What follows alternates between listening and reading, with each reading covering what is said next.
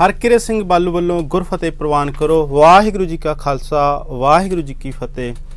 Good morning, ਸੰਗਤ ਵੇਖ ਰਹੇ ਸਾਰੇ ਹੀ ਦਰਸ਼ਕਾਂ ਦਾ ਤਹਿ ਦਿਲੋਂ ਸਵਾਗਤ ਕਰਦੇ ਆਂ ਆਸ ਕਰਦੇ ਆਂ ਉਮੀਦ ਕਰਦੇ ਆਂ ਸਾਰੇ ਚੜ੍ਹਦੀ ਕਲਾ ਚ ਹੋਵੋਗੇ, ਤੰਦਰੁਸਤ ਹੋਵੋਗੇ। ਅੱਜ ਅੰਗਰੇਜ਼ੀ ਕੈਲੰਡਰ ਦੇ ਮੁਤਾਬਿਕ ਦਿਨ ਬੁੱਧਵਾਰ 20 ਜਨਵਰੀ 2021 7 ਮਾਘ 552 ਨਾਨਕ ਸ਼ਾਹੀ ਸੰਮਤ ਦਾ ਦਿਨ ਹੈ।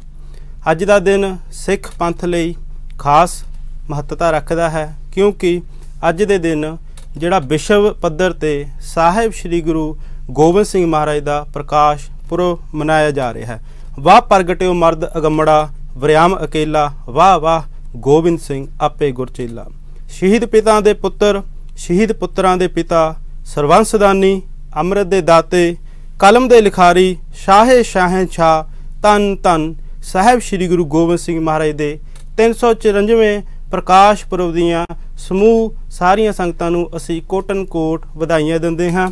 ਤੇ ਅਸੀਂ ਇਹ ਵੀ ਤੁਹਾਨੂੰ ਸੁਨੇਹਾ ਦਿੰਦੇ ਹਾਂ ਕਿ ਤੁਸੀਂ ਵੀ ਸਾਨੂੰ ਕਾਲ ਕਰਕੇ ਜਿਹੜੀਆਂ ਮਹਾਰਾਜ ਦੇ ਪ੍ਰਕਾਸ਼ ਪੁਰਬ ਦੀਆਂ ਵਧਾਈਆਂ ਦੇ ਸਕਦੇ ਆ ਸਾਰੀਆਂ ਹੀ ਸੰਗਤਾਂ ਦੇ ਨਾਲ ਤੁਸੀਂ ਜਿਹੜੀਆਂ ਵਧਾਈਆਂ ਉਹ ਸਾਂਝੀਆਂ ਕਰ ਸਕਦੇ ਹੋ।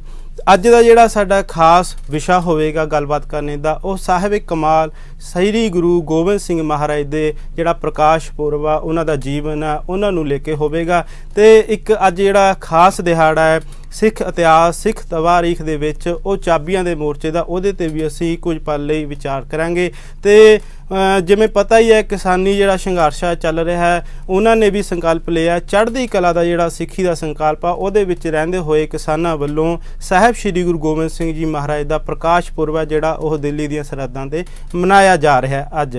ਸਾਡੇ ਨਾਲ ਅੱਜ ਗੱਲਬਾਤ ਕਰਨ ਲਈ ਸਟੂਡੀਓ ਦੇ ਵਿੱਚ ਮੌਜੂਦ ਨੇ ਡਾਕਟਰ ਖੁਸ਼ਹਾਲ ਸਿੰਘ ਜੀ ਤੇ ਸਾਡੇ ਸੀਨੀਅਰ ਪੱਤਰਕਾਰ ਬਲਵਿੰਦਰ ਜੰਮੂ ਜੀ। ਤੁਹਾਡਾ ਸਵਾਗਤ ਹੈ ਜੀ। ਸਤਿ ਸ਼੍ਰੀ ਅਕਾਲ ਜੀ। ਜੀ।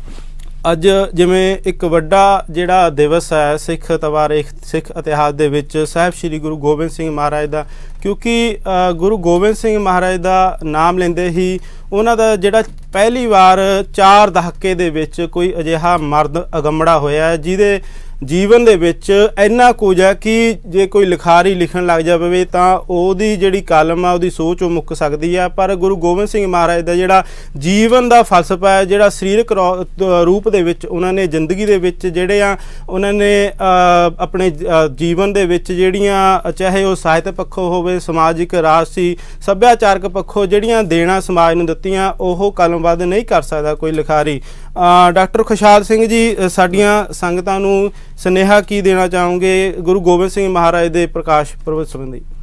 ਅੱਜ ਸਭ ਤੋਂ ਪਹਿਲਾਂ ਜੀ ਹਰਕੀਤ ਸਿੰਘ ਜੀ ਅੱਜ ਦਾ ਜਿਹੜਾ ਦਿਨ ਹੈ ਉਹ ਦਿਨ ਦੇ ਉੱਤੇ ਰਵਾਇਤੀ ਕੈਲੰਡਰ ਅਨੁਸਾਰ ਅੱਜ ਉਹਨਾਂ ਦਾ ਪ੍ਰਕਾਸ਼ ਦਿਵਸ ਸੰਸਾਰ ਪੱਧਰ ਤੇ ਮਨਾਇਆ ਜਾ ਰਿਹਾ ਹੈ। ਤੇ ਸਾਰੀਆਂ ਸੰਗਤਾਂ ਨੂੰ ਜਿਹੜਾ ਆ ਅੱਜ ਦੇ ਦਿਨ ਜਿਹੜਾ ਆ ਉਹ ਵਧਾਈ ਹੋਵੇ।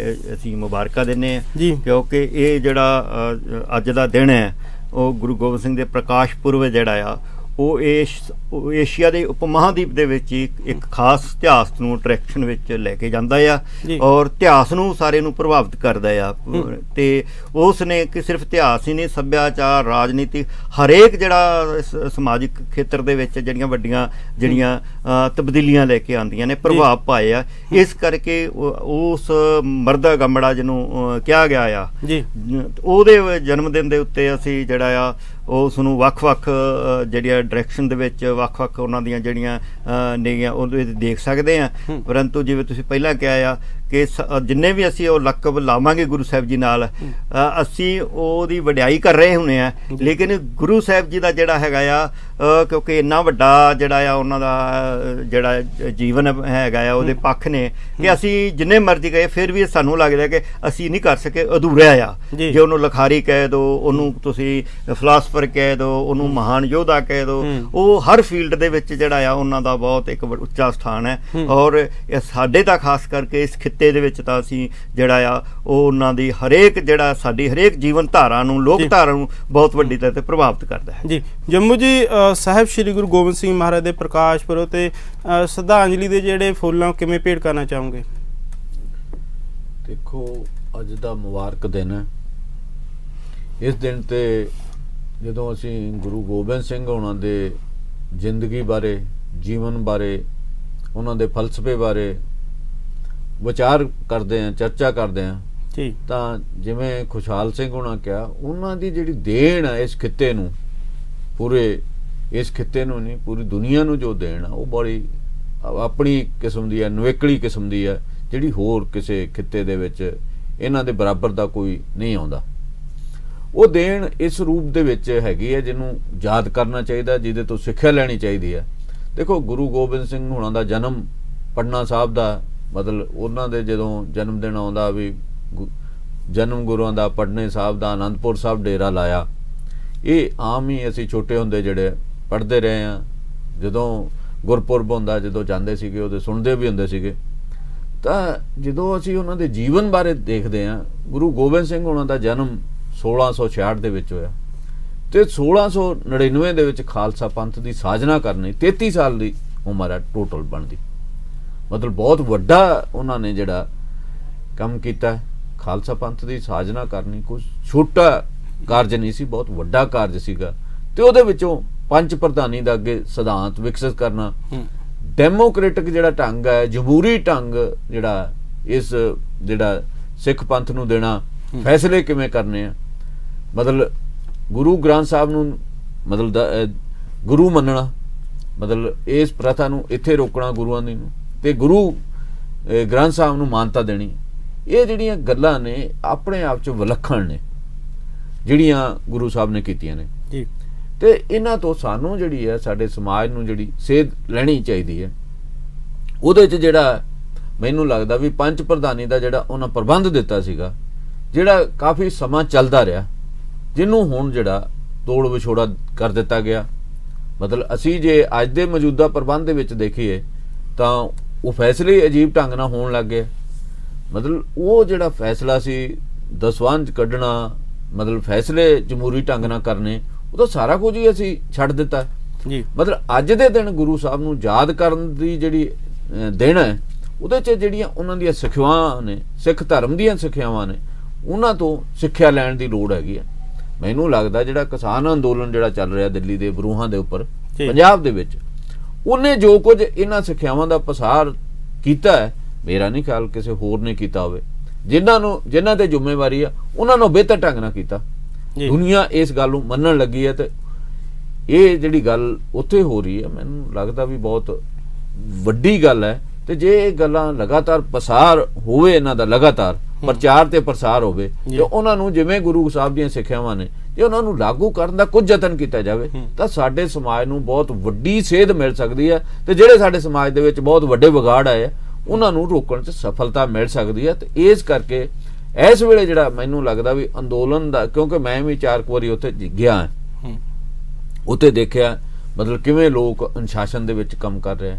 ਨੌਜਵਾਨ ਕਿਵੇਂ ਮਤਲਬ ਕੰਮ ਕਰ ਰਹੇ? ਆ ਉੱਥੇ ਜਿਹੜੀ ਖਾਲਸਾ ਏਡ ਵਾਲਿਆਂ ਦਾ ਜਿਹੜਾ ਪ੍ਰੋਜੈਕਟ ਹੈ ਉਹ ਕਿਵੇਂ ਮਤਲਬ ਲੋਕਾਂ ਦੀ ਸੇਵਾ ਕਰ ਰਿਹਾ? ਸਾਡਾ ਜਿਹੜਾ ਆਪਣਾ ਯੂਥ ਹੈ ਨੌਜਵਾਨ ਹੈ ਜਿਹੜੇ ਉਹ ਕਿਵੇਂ ਮਤਲਬ ਨਸ਼ਿਆਂ ਤੋਂ ਜਿਨ੍ਹਾਂ ਬਾਰੇ ਕਿਹਾ ਜਾਂਦਾ ਹੈ ਪੰਜਾਬ ਨਸ਼ਿਆਂ 'ਚ ਗਰਸਿਆ ਗਿਆ ਸਾਰਾ ਕੁਝ ਛੱਡ ਕੇ ਮਤਲਬ ਇੰਨੇ ਦਿਨ ਹੋ ਗਏ ਅੱਜ ਪੌਣੇ 2 ਮਹੀਨੇ ਤੋਂ ਵੱਧ ਹੋ ਗਏ। ਜੀ। ਮਤਲਬ ਕਦੇ ਤੁਹਾਨੂੰ ਲੱਗਦਾ ਨਹੀਂ ਕਿ ਉੱਥੋਂ ਮਤਲਬ ਕੋਈ ਇਸ ਕਿਸਮ ਦੀ ਗੱਲ ਸੁਣੀ ਹੋਵੇ ਕੋਈ ਹੁੱਲੜਬਾਜੀ ਦੀ ਸੁਣੀ ਹੋਵੇ ਕੋਈ ਹੋਰ ਗੱਲ ਸੁਣੀ ਹੋਵੇ।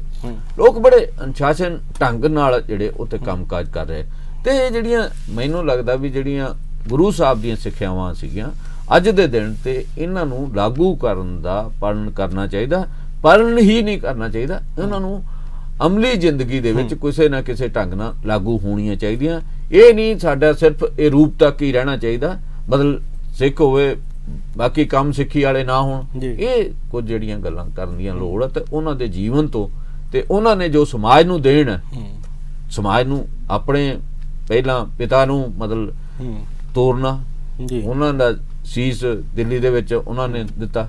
ਉਸ ਤੋਂ ਬਾਅਦ ਛੋਟੇ ਸਾਹਿਬਜ਼ਾ ਵੱਡੇ ਸਾਹਿਬਜ਼ਾਦਿਆਂ ਦੀ ਕੁਰਬਾਨੀ। ਜੀ। ਉਸ ਤੋਂ ਬਾਅਦ ਛੋਟਿਆਂ ਦੀ ਮਾਤਾ ਗੁਜਰੀ ਦੀ ਕੁਰਬਾਨੀ। ਮਤਲਬ ਐਸੀ ਮੇਰਾ ਖਿਆਲ ਮਿਸਾਲ ਦੁਨੀਆ ਦੇ ਵਿੱਚ ਕਿਤੇ ਨਹੀਂ ਮਿਲਦੀ ਵੀ ਜਿੱਡੀਆਂ ਕੁਰਬਾਨੀਆਂ ਉਹਨਾਂ ਨੇ ਕੀਤੀਆਂ ਨੇ।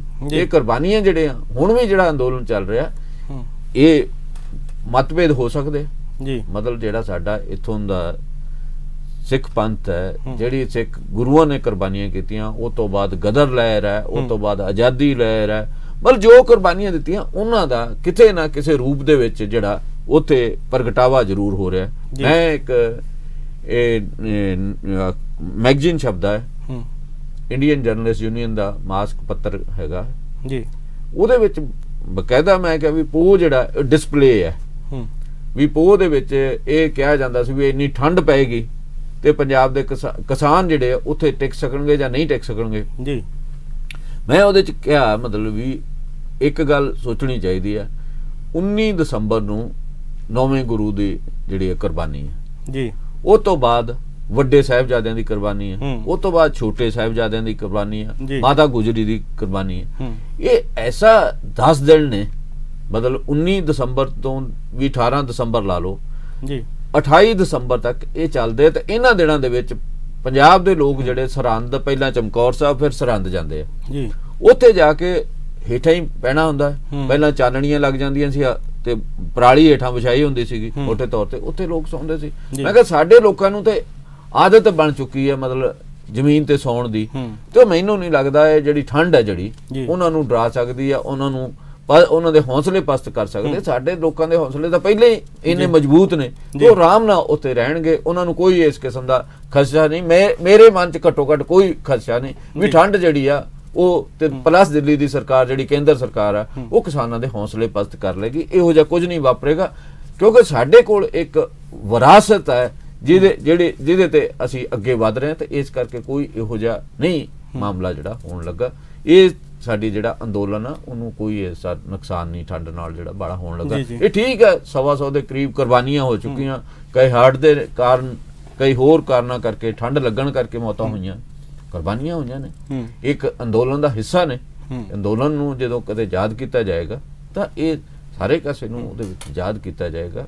ਮੇਰਾ ਖਿਆਲ ਹੈ ਕਿ ਬਹੁਤ ਵੱਡੀ ਜਿਹੜੀ ਦੇਣ ਹੈਗੀ ਦਸਵੇਂ ਗੁਰੂ ਦੀ ਜਿਹਨੂੰ ਕਦੇ ਵੀ ਭੁਲਾਇਆ ਨਹੀਂ ਜਾ ਸਕਦਾ। ਸਗੋਂ ਹੋਰ ਉਹਦਾ ਪਸਾਰ ਜਿਹੜਾ ਕਰਨ ਦੀ ਲੋੜ ਹੈ ਤੇ ਉਹਨਾਂ ਨੇ ਜਿਹੜੀ ਸਾਨੂੰ ਦੇਣ ਦਿੱਤੀ ਉਹਦੇ ਬਾਰੇ ਗੌਰ ਕਰਨ ਦੀ ਲੋੜ ਹੈ ਜਿਵੇਂ ਜੰਮੂ ਜੀ ਨੇ ਕਿਹਾ ਕਿ ਸਾਡੀ ਪਿੱਠ ਦੇ ਪਿੱਛੇ ਸਾਡਾ ਇਤਿਹਾਸ ਖੜਾ ਹੈ। ਇਸ ਇਤਿਹਾਸ ਤੋਂ ਜਿਹੜੀ ਸੇਧ ਲੈ ਕੇ ਹੈ ਉਸ ਅੰਦੋਲਨ ਦੇ ਵਿੱਚ ਮਾਨਸਿਕ ਤੌਰ ਤੇ ਜਿਹੜੀ ਮਜ਼ਬੂਤੀ ਆ, ਉਹ ਲੋਕਾਂ ਨੇ ਬਣਾਈ ਹੋਈ ਹੈ ਕਿਉਂਕਿ ਇਤਿਹਾਸ ਤੋਂ ਬਹੁਤ ਸਾਰੀਆਂ ਸਿੱਖਿਆਵਾਂ ਮਿਲਦੀਆਂ ਨੇ। ਇਤਿਹਾਸ ਨੂੰ ਜਿਵੇਂ ਜੰਮੂ ਜੀ ਨੇ ਦੱਸਿਆ, ਇਤਿਹਾਸ ਦੇ ਜਿਹੜੇ ਸ਼ਹੀਦੀ ਦਿਹਾੜੇ ਦੇ ਦਿਨ ਹੁੰਦੇ ਆ, ਉਹਨਾਂ ਨੂੰ ਲੋਕਾਂ ਨੇ ਵਿਵਹਾਰਿਕ ਰੂਪ ਦੇ ਵਿੱਚ ਹੜਾਇਆ ਹੁੰਦਾ ਇਹਦੇ ਕਰਕੇ ਮਜ਼ਬੂਤ ਆ ਜਿਹੜਾ ਮਾਨਸਿਕ ਤੌਰ ਤੇ, ਉੱਥੇ ਦੇ ਜਿਹੜੀਆਂ ਸਰਹੱਦਾਂ ਤੇ ਅੰਦੋਲਨਕਾਰੀ ਨੇ, ਉਹ ਮਜ਼ਬੂਤ ਨੇ ਮਾਨਸਿਕ ਤੌਰ ਤੇ, ਕਿਉਂਕਿ ਇਤਿਹਾਸ ਸਾਡੀ ਪਿੱਠ ਪਿੱਛੇ ਖੜਾ ਹੈ। ਜਿਵੇਂ ਅਮਲੀ ਰੂਪ ਦੇ ਵਿੱਚ ਵੀ ਗੱਲ ਕੀਤੀ ਆ ਜੰਮੂ ਜੀ ਨੇ ਕਿ ਜਿਹੜੀਆਂ ਗੁਰੂ ਮਹਾਰਾਜ ਦੀਆਂ ਸਿੱਖਿਆਵਾਂ ਉਹਨੂੰ ਸਿਧਾਂਤਕ ਤੌਰ ਤੇ ਹੀ ਨਹੀਂ ਰੱਖਣਾ ਚਾਹੀਦਾ। ਉਹਨਾਂ ਨੂੰ ਅਮਲੀ ਰੂਪ ਦੇ ਵਿੱਚ, ਜੀਵਨ ਦੇ ਵਿੱਚ ਅਪਣਾਉਣਾ ਚਾਹੀਦਾ। ਇਹ ਇੱਕ ਜੇਕਰ ਗੁਰਸਿੱਖੀ ਦੇ ਵਿੱਚ ਇੱਕ, ਜੇਕਰ ਦਿਖਾਵਾ ਹੋਵੇਗਾ, ਤਾਂ ਗੁਰਸਿੱਖੀ ਨੂੰ ਪ੍ਰਫੁੱਲਤ ਨਹੀਂ ਕੀਤਾ ਜਾ ਸਕਦਾ। ਜੇਕਰ ਦੂਸਰੇ ਕਿਸੇ ਵਿਅਕਤੀ ਨੂੰ ਅਸੀਂ ਸੇਧ ਦੇਣੀ ਹੋਵੇ, ਤਾਂ ਪਹਿਲਾਂ ਸਾਨੂੰ ਆਪ ਸਹੀ ਹੋਣਾ ਚਾਹੀਦਾ ਹੈ, ਤਾਂ ਕਿਤੇ ਜਾ ਕੇ ਦੂਸਰਾ ਜਿਹੜਾ ਉਹ ਗੱਲ ਕਬੂਲ ਕਰਦਾ ਹੈ। ਡਾਕਟਰ ਖੁਸ਼ਹਾਲ ਸਿੰਘ ਜੀ, ਜਿਵੇਂ ਹਰ ਇੱਕ ਸਮਾਜ ਦੇ ਵਿੱਚ ਜਾਤ ਪਾਤ ਜਾਤ ਪਾਤ ਊਚ ਨੀਚ ਭੇਦ ਭਾਵ ਵੇਖਣ ਨੂੰ ਮਿਲਦਾ ਹਰ ਇੱਕ ਸਮਾਜ ਹੋਵੇ, ਚਾਹੇ ਵਰਗ ਹੋਵੇ, ਪਰ ਮਾਨਸ ਕੀ ਜਾਤ ਸਵੈ ਇੱਕ ਹੈ ਪਹਿਚਾਨਬੋ ਤੋਂ ਜਿਹੜਾ ਵਾਕ ਆ ਇਹ ਇਹਨੂੰ ਅਮਲੀ ਰੂਪ ਦੇ ਵਿੱਚ ਗੁਰੂ ਗੋਬਿੰਦ ਸਿੰਘ ਮਹਾਰਾਜ ਨੇ ਕਿਵੇਂ ਦਰਸਾਇਆ ਤੁਸੀਂ ਕਿਵੇਂ ਵੇਖਦੇ ਹੋ? ਅਸਲ 'ਚ ਜਿਹੜੀ ਗੱਲ ਹੈਗੀ ਹੈ ਕਿ ਇਹ ਗੁਰੂ ਗੋਬਿੰਦ ਸਿੰਘ ਦਾ ਜਿਹੜਾ ਜੀਵਨ ਹੈ ਪੂਰਾ ਜੀਵਨ ਹੈ ਜੀ। ਉਹ ਜਿਹੜਾ ਆ ਉਹ ਕੋਈ ਸਾਨੂੰ ਸਿਰਫ ਧਾਰਮਿਕ ਸਿੱਖਿਆ ਤੱਕ ਸੀਮਿਤ ਨਹੀਂ ਹੈ। ਜੀ। ਉਹ ਪੂਰੀ ਜੀਵਨ ਜਾਂਚ ਹੈ। ਉਹ ਜਿਹੜੀ ਇੱਥੋਂ ਦੇ ਜੀਵਨ ਜਾਂਚ ਆ ਉਹਨੂੰ ਹਰ ਤਰ੍ਹਾਂ ਪ੍ਰਭਾਵਿਤ ਕਰਦਾ ਹੈ। ਤਾਂ ਇਹ ਗੁਰੂ ਨਾਨਕ ਸਾਹਿਬ ਜੀ ਨੇ ਵੈਸੇ ਇਹਦੀ ਨੀਂਹ ਰੱਖ ਦਿੱਤੀ ਸੀ ਕਿ ਜਦੋਂ ਉਹਨਾਂ ਕਿਹਾ ਨੀਚਾ ਅੰਦਰ ਨੀਚ ਜਾਤ ਨੀਚੀ ਹੂੰ ਅਤ ਨੀਚ। ਉਹ ਜਿਹੜੀ ਹੈ ਹਰ ਤਰ੍ਹਾਂ ਦੀ ਜਿਹੜੀ ਮਨੁੱਖਤਾ ਦੇ ਵਿੱਚ ਵਿਤਕਰੇਬਾਜ਼ੀ ਹੈ ਭਾਵੇਂ ਉਹ ਜਾਤ ਦੇ ਆਧਾਰ ਤੇ ਹੋਵੇ ਰੰਗ ਨਸਲ ਦੇ ਆਧਾਰ ਤੇ ਹੋਵੇ ਇਲਾਕੇ ਦੇ ਆਧਾਰ ਤੇ ਹੋਵੇ ਇੱਥੇ ਇਹ ਸਮਾਜ ਵਿੱਚ ਵਿਤਕਰੇਬਾਜ਼ੀ ਬਹੁਤ ਵੱਡੇ ਪੱਧਰ ਤੇ ਉਹਨੂੰ ਧਾਰਮਿਕ ਜਿਹੜੀ ਹੈ ਉਹ ਸਟਰੈਂਥਨ ਵੀ ਮਿਲਦੀ ਸੀਗੀ ਮਨੂ ਸਿਮਰਤੀਆਂ ਰਾਹੀਂ ਤੇ ਹੋਰ ਵਿਦਿਆ ਸ਼ਾਸਤਰਾਂ ਰਾਹੀਂ ਬੰਦੇ ਨੂੰ ਉਹਦੇ ਇਹ ਵੱਖ-ਵੱਖ ਕਰਕੇ ਉਹਦੇ ਜਿਹੜੇ ਆ ਫ਼ਰਕ ਸਮਝੇ ਜਾਂਦੇ ਸੀਗੇ। ਔਰ ਗੁਰੂ ਸਾਹਿਬ ਜੀ ਨੇ ਉਹਨੂੰ ਖਤਮ ਕੀਤਾ ਤੇ ਉਹਦਾ ਹੀ ਇੱਕ ਜਿਹੜਾ ਇਸ ਖਿੱਤੇ ਦੇ ਵਿੱਚ ਜਿਹਨੂੰ ਰਾਜਮੋਹਨ ਗਾਂਧੀ ਨੇ ਆਪਣੇ ਇਤਿਹਾਸ ਦੀ ਕਿਤਾਬ 'ਚ ਜੋ ਲਿਖਦੇ ਐ ਤੇ ਉਹ ਕਹਿੰਦਾ ਇੱਥੇ ਕੀ ਵਾਪਰ ਗਿਆ ਜਦੋਂ ਕਿਉਂਕਿ ਅਸੀਂ ਦੇਖਦੇ ਹਾਂ ਗੁਰੂ ਕਾਲ ਦੇ ਨਾਲ ਨਾਲ ਹੀ ਇੱਕ ਜਿਹੜਾ ਹੈ ਉਸ ਸਮੇਂ ਦੀ ਵੱਡੀ ਸਟੇਟ ਮੁਗਲ ਸਟੇਟ ਹੈ ਜਿਹੜੇ ਉਹ ਵੀ ਆਪਣੀ ਪੀਕ ਤੇ ਜਾਂਦੀ ਹੈ। ਗੁਰੂ ਨਾਨਕ ਸਾਹਿਬ ਸਾਹਿਬ ਜਿਵੇਂ ਬਾਬਰ ਆਉਂਦਾ ਹੈ ਮੁਗਲ ਇੱਥੇ ਸਲਤਨਤ ਨੂੰ ਲੈ ਕੇ ਤੇ ਉਹਦਾ ਜਿਹੜਾ ਪੀਕ ਹੈ ਉਹ ਆਉਂਦੇ ਆ ਗਿਆ ਔਰੰਗਜ਼ੇਬ ਤੱਕ ਗੁਰੂ ਗੋਬਿੰਦ ਸਿੰਘ ਜੀ ਦਾ ਜਿਹੜਾ ਕਾਲ ਬਣਦਾ ਉਦੋਂ ਤੱਕ। ਤੋਂ ਇਹਦੇ ਵਿੱਚ ਜਿਹੜਾ ਆ ਉਹਦੇ ਨਾਲ ਟਕਰਾਅ ਵੀ ਚੱਲਦਾ ਆ। ਪਰ ਜਿਹੜਾ ਸਿਧਾਂਤਿਕ ਤੌਰ ਤੇ ਗੁਰੂ ਸਾਹਿਬ ਜੀ ਕਿਤੇ ਉਹ ਜਦੋਂ ਜਫਰਨਾਮਾ ਲਿਖਦੇ ਆ ਜਫਰਨਾਮੇ ਦੇ ਵਿੱਚ ਜਿਹੜੀ ਮਾਨਸਿਕ ਤੇ ਮੋਰਲ ਜਿੱਤ ਹੈਗੀ ਆ ਉਹਦੀ ਉਹਦਾ ਵਿਸ਼ੇਸ਼ ਜਿਹੜਾ ਸਾਨੂੰ ਧਿਆਨ ਰੱਖਣਾ ਚਾਹੀਦਾ ਆ। ਔਰ ਇਹਨੇ ਜੀਵਨ ਜਾਂਚ ਜਿਹੜੀ ਆ ਲੋਕਾਂ ਦੀ ਬਦਲੀ ਹੈਗੀ ਆ। ਤੁਸੀਂ ਇਸ ਸਮੇਂ ਦੇ ਵਰਤਮਾਨ ਸਮੇਂ ਵਿੱਚ ਵੀ ਦੇਖੀਏ ਤੇ ਜਦੋਂ ਪੰਜਾਬ ਦੇ ਵਿੱਚ ਸਾਰੀ ਕਿਸਮ ਦੀ ਲੀਡਰਸ਼ਿਪ ਧਾਰਮਿਕ ਸਮਾਜਿਕ ਰਾਜਨੀਤਿਕ ਲੀਡਰਸ਼ਿਪ ਦੀ ਜਿਹੜੀ ਭਰੋਸੇਯੋਗਤਾ ਖਤਮ ਹੋ ਚੁੱਕੀ ਸੀਗੀ। ਔਰ ਸਮਾਜ ਦੇ ਵਿੱਚ ਵੀ ਇਸਦਾ ਸੀਗਾ ਕਿ ਕਰੋਨਾ ਦੇ ਰਾਹੀਂ ਜਿਹੜੇ ਸਾਡੇ ਕੋਲ ਅੰਕੜੇ ਆਏ ਕਿ ਹਰ ਰੋਜ਼ ਜਿਹੜੇ ਲੈਣਾ ਤੇ ਲੱਗ ਕੇ ਪੰਜਾਬ ਦਾ 5 ਲੱਖ ਨੌਜਵਾਨ ਹੈ ਜਿਹੜਾ ਹਰ ਰੋਜ਼ ਹੈ ਜਿਹੜਾ ਉਹ ਨਸ਼ਾ ਕੇਂਦਰਾਂ ਤੇ ਊਟ ਕੇਂਦਰਾਂ ਤੇ ਜਾ ਕੇ ਆਪਣੇ ਮੂੰਹ ਖੋਲ ਕੇ ਦਵਾਈ ਜਿਹੜੀ ਗੋਲੀ ਪਾਉਣ ਲਈ ਲਾਈਨ 'ਚ ਖੜਦਾ ਸੀਗਾ। ਇਸ ਨਿਰਾਸ਼ਾ ਦੇ ਮਾਹੌਲ ਦੇ ਵਿੱਚ ਜਿਹੜਾ ਇਹ ਅੰਦੋਲਨ ਆਇਆ ਇਹਨੇ ਟੋਟਲੀ ਚੇਂਜ ਕਰਤਾ ਸਾਰਾ। ਜੀ। ਉਹ ਉਹ ਜਿਹੜਾ ਆ ਤੁਸੀਂ ਦੇਖੋ ਜਿਸ ਤਰ੍ਹਾਂ ਇਥੋਂ ਦੇ ਲੀਡਰਸ਼ਿਪ ਹੈ ਜਿਹੜੇ ਅੰਦੋਲਨ ਨੂੰ ਜਿਨ੍ਹਾਂ ਚਲਾਇਆ ਜਿਨ੍ਹਾਂ ਨੇ ਆਰਗੇਨਾਈਜ਼ ਕੀਤਾ ਜਿਨ੍ਹਾਂ ਦੀ ਮਿਹਨਤ ਹੈ ਪਿਛਲੇ ਕਈ ਸਾਲਾਂ ਤੋਂ ਉਹਨਾਂ ਦਾ ਵੀ ਜਿਹੜਾ ਪਲਾਨ ਸੀਗਾ ਉਹ ਬਾਰਡਰਾਂ ਤੇ ਬੈਠਣ ਦਾ ਹੀ ਸੀਗਾ ਦਿੱਲੀ ਜਾਣ ਦਾ ਨਹੀਂ ਸੀਗਾ। ਉਹ ਬਾਰਡਰਾਂ ਤੇ ਬੈਠਣਾ ਸੀਗਾ। ਲੇਕਿਨ ਕੁਦਰਤ ਨੇ ਇਸ ਤਰ੍ਹਾਂ ਦੇ ਹਾਲਾਤ ਬਣਾਤੇ ਉਹ ਯੂਥ ਜਿਹਦੇ ਬਾਰੇ ਪੰਜਾਬ ਦੇ ਵਿੱਚ ਬਹੁਤ 네ਗੇਟਿਵ ਸੋਚਿਆ ਜਾਂਦਾ ਸੀਗਾ ਜਿਹਨੂੰ ਇੱਥੋਂ ਦੇ ਗਾਇਕ ਹੈ ਜਿਹੜੇ ਕਿਹਾ ਜਾਂਦਾ ਸੀ ਲੱਚਰਵਲ ਟੱਕ ਰਹੇ ਆ ਹੋਰ ਸਾਰੇ ਪਾਸੇ ਸਭ 네ਗੇਟਿਵ ਗੱਲਾਂ ਆ ਰਹੀਆਂ ਸੀਗੀਆਂ। ਉਹ ਜਦੋਂ ਸਾਰਾ ਮੋੜਾ ਪਿਆ ਉਹ ਸਾਰੀਆਂ ਹੀ ਚੀਜ਼ਾਂ ਜਿਹੜੀਆਂ ਪੋਜ਼ਿਟਿਵ ਆ ਕੇ ਸਾਡੇ ਸਾਹਮਣੇ ਹੋ ਕੇ ਆ ਗਈਆਂ। ਐਸੇ ਦੌਰ ਦੇ ਵਿੱਚ 100 ਤੋਂ ਵੱਧ ਜਿਹੜੇ ਗਾਇਕਾਂ ਨੇ ਗੀਤ ਗਾਏ ਜਿਨ੍ਹਾਂ ਨੇ ਇਸ ਅੰਦੋਲਨ ਨੂੰ ਸਟਰੈਂਥਨ ਦਿੱਤੀ ਬਹੁਤ ਵੱਡੀ। ਸਾਰੇ ਕਿਸਮ ਦੇ ਲੋਕ ਸਮਾਜ ਦੇ ਹਰੇਕ ਤਬਕੇ ਨੇ ਇਹਦਾ ਨਾਂ ਭਾਵੇਂ ਤੁਸੀਂ ਕਿਸਾਨ ਅੰਦੋਲਨ ਰੱਖ ਲਓ ਕਿਸਾਨ ਸੰਘਰਸ਼ ਰੱਖ ਲਓ ਲੇਕਿਨ ਇਹ ਕਿਸਾਨਾਂ ਦਾ ਸੰਘਰਸ਼ ਨਹੀਂ। ਇਹ ਜਿਹੜੀ ਪਿੱਛੇ ਦੀ ਸਾਡੇ 70 ਸਾਲਾਂ ਦੀ ਫੇਲਿਅਰ ਹੈ ਲੀਡਰਸ਼ਿਪ ਦੀ ਹਰ ਇੱਕ ਕਿਸਮ ਦੀ ਲੀਡਰਸ਼ਿਪ ਦੀ ਫੇਲਿਅਰ ਹੈ ਸਟੇਟ ਦੀ ਫੇਲਿਅਰ ਹੈ ਇਹ ਸਾਰਿਆਂ ਦੇ ਪ੍ਰਭਾਵ ਇਕੱਠੇ ਹੋ ਕੇ ਇੱਕ ਜਵਾਰ ਪਾਟੇ ਦੇ ਰੂਪ 'ਚ ਸਾਡੇ ਸਾਹਮਣੇ ਆਇਆ ਆ। ਤੇ ਉਹਨਾਂ ਨੇ ਸਾਰੀ ਚੀਜ਼ ਨੂੰ ਮੁੜ ਕੇ ਪੰਜਾਬ ਦੇ ਜਦ ਬੰਦਾ ਬਦਲ ਗਿਆ ਉਹਦਾ ਕੈਰੈਕਟਰ ਬਦਲ ਗਿਆ ਟੋਟਲੀ ਕੈਰੈਕਟਰ ਬਦਲ ਗਿਆ ਅਸੀਂ ਜਦੋਂ ਸਾਡੀ ਕੋਈ ਧੀ ਭੈਣ 5 ਵਜੇ ਤੋਂ ਬਾਅਦ ਘਰ ਨਹੀਂ ਆਉਂਦੇ ਸਾਨੂੰ ਫਿਕਰ ਹੁੰਦਾ ਸੀਗਾ ਕਿ ਕਿਤੇ ਕੀ ਸਹੀ ਸਲਾਮਤ ਪਹੁੰਚ ਜੇਗੀ। ਅੱਜ ਟੋਟਲੀ ਸਾਡਾ ਜਿਹੜਾ 18ਵੀਂ ਸਦੀ ਦਾ ਕਿਰਦਾਰ ਸੀਗਾ ਉਹ ਸਾਹਮਣੇ ਆ ਰਿਹਾ ਜਦੋਂ ਔਰਤਾਂ ਦਿੱਲੀ ਦੀਆਂ ਕਹਿੰਦੀਆਂ ਨੇ ਕਿ ਜਦੋਂ ਤੱਕ ਇਹ ਸਿੱਖ ਪੰਜਾਬੀ ਲੋਕ ਸਾਡੇ ਇੱਥੇ ਨੇ ਕਿਸਾਨ ਨੇ ਅਸੀਂ ਵੱਧ ਸੁਰੱਖਿਅਤ ਮਹਿਸੂਸ ਕਰ ਰਹੀਆਂ ਹੈਗੀਆਂ ਸਾਨੂੰ ਕੋਈ ਖਤਰਾ ਨਹੀਂ ਹੈ ਉੱਥੇ ਜਿਹੜਾ ਇੱਥੋਂ ਦਾ ਨੌਜਵਾਨ ਹੈ ਉਹਦਾ ਕਿਰਦਾਰ ਬਦਲ ਗਿਆ ਟੋਟਲ ਉਹ ਜਿਹੜਾ ਕੋਈ ਬਦਲੇ ਦੀ ਭਾਵਨਾ ਨਹੀਂ ਜਿਨ੍ਹਾਂ ਲੋਕਾਂ ਨੇ ਉਹਨਾਂ ਦੇ ਉੱਤੇ ਜਿਹੜੇ ਪੁਲਿਸ ਵਾਲਿਆਂ ਨੇ ਉਹਨਾਂ ਨੂੰ ਡੰਡੇ ਮਾਰੇ ਉਹਨਾਂ ਤੇ ਅਸੂ ਗੈਸ ਛੱਡੀ ਉਹਨਾਂ ਤੋਂ ਬਦਲਾ ਨਹੀਂ ਲੈਣਾ ਚਾਹੁੰਦਾ। ਉਹਨੂੰ ਉਦੋਂ ਬਾਅਦ ਉਹਨਾਂ ਨੂੰ ਲੰਗਰ ਛਕਾ ਰਿਹਾ ਹੈ ਪਾਣੀ ਪਿਆ ਰਿਹਾ ਆ ਤੇ ਉਹਦੇ ਕਿਤੇ ਵੀ ਉਹਦੇ ਅੰਦਰ ਗੁੱਸਾ ਨਹੀਂ ਹੈ ਵੈਰ ਭਾਵਨਾ ਨਹੀਂ। ਉਹ ਭਾਈ ਕਨਈਏ ਦਾ ਕਿਰਦਾਰ ਉਹਦੇ ਸਾਹਮਣੇ ਸਾਹਮਣੇ ਆ ਜਾਂਦਾ ਆ। ਇਹ ਗੁਰੂ ਸਾਹਿਬ ਜੀ ਦੀ ਗੁਰੂ ਗੋਬਿੰਦ ਸਿੰਘ ਜੀ ਦੀ ਦੇਣ ਹੈ ਇਸ ਕਿੱਤੇ ਨੂੰ। ਇਹ ਇਹ ਇਹ ਖਿੱਤੇ ਨੇ ਇਹ ਵਰਡ ਦੇ ਵਿੱਚ ਕਿਤੇ ਨਹੀਂ ਵਾਪਰਿਆ। ਜਿਹੜੇ ਦੇਸ਼ ਕਹਿੰਦੇ ਸੀ ਕਿ ਬਹੁਤ ਐਡਵਾਂਸ ਨੇ ਬਹੁਤ ਪੜ੍ਹਾਈ ਕੀਤੀ ਆ। ਉੱਥੇ ਅਮਰੀਕਾ ਦੇ ਵਿੱਚ ਜਦੋਂ ਪਿਛਲੇ ਦਿਨ ਅੰਦੋਲਨ ਚੱਲਿਆ ਉਹਨਾਂ ਦਾ ਇੱਕ ਕਾਲੇ ਨੂੰ ਮਰਨ ਤੋਂ ਬਾਅਦ ਕਿੰਨਾ ਪ੍ਰਾਪਰਟੀ ਦਾ ਨੁਕਸਾਨ ਹੋਇਆ। ਇੱਥੇ 2 ਮਹੀਨਿਆਂ ਤੋਂ ਕਿਸਾਨ ਹੋ ਗਏ ਬੈਠੇ ਮਤਲਬ ਐਜੀਟੇਸ਼ਨ ਕਰ ਰਹੇ ਆ ਉਦੋਂ ਪਹਿਲਾਂ ਦੀ ਚੱਲ ਰਹੀ ਆ। ਇੱਥੇ ਕਿਸੇ ਬੰਦੇ ਨੂੰ ਝਰੀਟ ਨਹੀਂ ਮਾਰੀ ਕਿਸੇ ਪ੍ਰਾਪਰਟੀ ਦਾ ਨੁਕਸਾਨ ਨਹੀਂ ਕੀਤਾ। ਤੇ ਵਿਸ਼ਵ ਦੇ ਵਿੱਚ ਸਭ ਤੋਂ ਵੱਡੀ ਜਿਹੜੀ ਹੈ ਉਹ ਸ਼ਾਂਤੀ ਵੱਡਾ ਜਿਹੜਾ ਸੰਘਰਸ਼ ਹੈ ਇਹ ਸਾਡੇ ਸਾਹਮਣੇ ਆ ਰਿਹਾ ਇਹ ਜਿਹੜਾ ਸਾਰਾ ਕੁਝ ਹੈਗਾ ਆ ਇਹਦੇ ਪਿੱਛੇ ਇੱਕ ਗੁਰੂ ਸਾਹਿਬ ਦਾ ਸਿਰਜਾ ਹੋਇਆ ਮਨੁੱਖ ਹੈ। ਉਹ ਭਾਵੇਂ ਉਹ ਉਹਦਾ ਕਿਸੇ ਨਸਲ ਦਾ ਹੋਵੇ ਕਿਸੇ ਵਿਚਾਰਧਾਰਾ ਦਾ ਹੋਵੇ ਇੱਥੇ ਸਾਰਿਆਂ ਦੇ ਪੋਜ਼ਿਟਿਵ ਇਕੱਠੇ ਹੋ ਗਏ ਆ। ਇੱਥੇ ਕਮਿਊਨਿਸਟ ਵਿਚਾਰਧਾਰਾਂ ਦੇ ਵਿਅਕਤੀ ਆ ਇੱਥੇ ਬੰਦਾ ਜਿਹੜਾ ਉਹ ਛੋਟੀਆਂ ਦੁਆਰਾਂ ਵਲਗਣ ਤੋਂ ਉੱਪਰ ਉੱਠ ਚੁੱਕਿਆ ਆ। ਉਹ ਆਪਣੀਆਂ ਵਿਚਾਰਧਾਰਾ ਤੋਂ ਵੀ ਉੱਪਰ ਟੁੱਟ ਕੇ ਆਇਆ ਉਹ ਜਿਹੜੇ ਧਰਮ ਦੇ ਸੰਕੀਰਨ ਦੁਆਰਾ ਸੀਗੀਆਂ ਬਣੀਆਂ ਹੋਈਆਂ ਸੰਪਰਦਾਇਆਂ ਨੇ ਬਣਾਈਆਂ ਹੋਈਆਂ ਸੀ ਸਾਡੇ ਕੈਰੈਕਟਰ ਨੇ ਬਣਾਈਆਂ ਹੋਈਆਂ ਸੀ ਉਹ ਸਾਰੀਆਂ ਤੋੜ ਕੇ ਬੰਦਾ ਉੱਪਰ ਉੱਠ ਕੇ ਆਇਆ ਅੱਜ ਦਾ ਜਿਹੜਾ ਸੰਘਰਸ਼ ਹੈ ਤਾਂ ਹੀ ਆਪਣੀ ਲੀਡਰਸ਼ਿਪ ਤੋਂ ਵੀ ਵੱਡਾ ਹੋ ਚੁੱਕਿਆ ਆ। ਲੀਡਰਸ਼ਿਪ ਉਹਦੇ ਹਾਂ ਦੀ ਨਹੀਂ ਹੈਗੀ। ਇਸੇ ਕਰਕੇ ਉਹ ਜਿਹੜਾ ਆ ਉਹ ਲੀਡਰਸ਼ਿਪ ਨੂੰ ਵੀ ਇਹ ਇਹ ਬਹੁਤ ਵਧੀਆ ਗੱਲ ਹੋਈ ਆ ਕਿ ਗੁਰੂ ਸਾਹਿਬ ਨੇ ਜਿਹੜਾ ਸਿਧਾਂਤ ਸਿਰਜਿਆ ਸੀਗਾ ਕਿ ਜਿਹੜਾ ਆ ਸੰਗਤ ਹੈ ਉਹ 21 ਵਿਸਵੇ ਹੈ ਤੇ ਗੁਰੂ ਵੀ ਵਿਸਵੇ ਆ ਅੱਜ ਸੰਗਤ ਜਿਹੜੀ ਸਾਰੀ ਲੀਡਰਸ਼ਿਪ ਹੈ ਸੰਗਤ ਦੇ ਪ੍ਰੈਸ਼ਰ ਥੱਲੇ ਹੈ ਉਹ ਤੇ ਮੈਨੂੰ ਉਹਦੀ ਯਾਦ ਸ਼ਾਹ ਮੁਹੰਮਦਾ ਯਾਦ ਹੁੰਦੀ ਹੈ ਕਿ ਸ਼ਾਹ ਮੁਹੰਮਦਾ ਅੰਤ ਨੂੰ ਉਹ ਹੋਣਾ ਜੋ ਕਰੂਗਾ ਖਾਲਸਾ ਪੰਥ ਮੀਆਂ ਉਹ ਖਾਲਸਾ ਪੰਥ ਮੀਆਂ ਜਿਹੜਾ ਹੈ ਉਹ ਸੰਗਤ ਦੇ ਰੂਪ ਵਿੱਚ ਡਾਇਰੈਕਸ਼ਨ ਕਰ ਰਿਹਾ ਹੈਗਾ ਲੀਡਰਸ਼ਿਪ ਨੂੰ। ਇਹ ਜਿਹੜਾ ਇਤਿਹਾਸ ਦੇ ਵਿੱਚ ਹੈ ਇਹ ਇਸ ਤਰ੍ਹਾਂ ਵਾਪਰਦਾ ਨਹੀਂ ਹੁੰਦਾ। ਆਮ ਇਹ ਜਿਹੜਾ ਸੰਘਰਸ਼ ਹੈ ਇਹ ਸਾਡੀ ਉਮਰ ਤੇ ਤਾਂ ਪਹਿਲੀ ਵਾਰੀ ਹੋਇਆ ਆ। ਪਰ ਤੁਹਾਨੂੰ ਸਾਨੂੰ ਕਿਤੇ ਨੇੜੇ ਤੇੜੇ ਜਿਹੜੇ 72 ਸਾਲ ਆਜ਼ਾਦੀ ਦੇ ਹੈਗੇ ਆ ਕਿਤੇ ਨਹੀਂ ਲੱਗਦਾ। ਇਸ ਤਰ੍ਹਾਂ ਦਾ ਐਡਾ ਲੰਮਾ ਸੰਘਰਸ਼ ਤੇ ਇੰਨੇ ਮਨੁੱਖਤਾ ਨੂੰ ਜਿਹੜਾ ਆਪਣੇ ਕਲਾਵੇ 'ਚ ਲੈ ਲਵੇ ਜਿਹੜਾ ਸਾਡੀ ਸ਼੍ਰੋਮਣੀ ਗੁਰਦੁਆਰਾ ਪ੍ਰਬੰਧਕ ਕਮੇਟੀ ਨੂੰ ਵੀ 100 ਸਾਲ ਹੋ ਗਿਆ ਆ।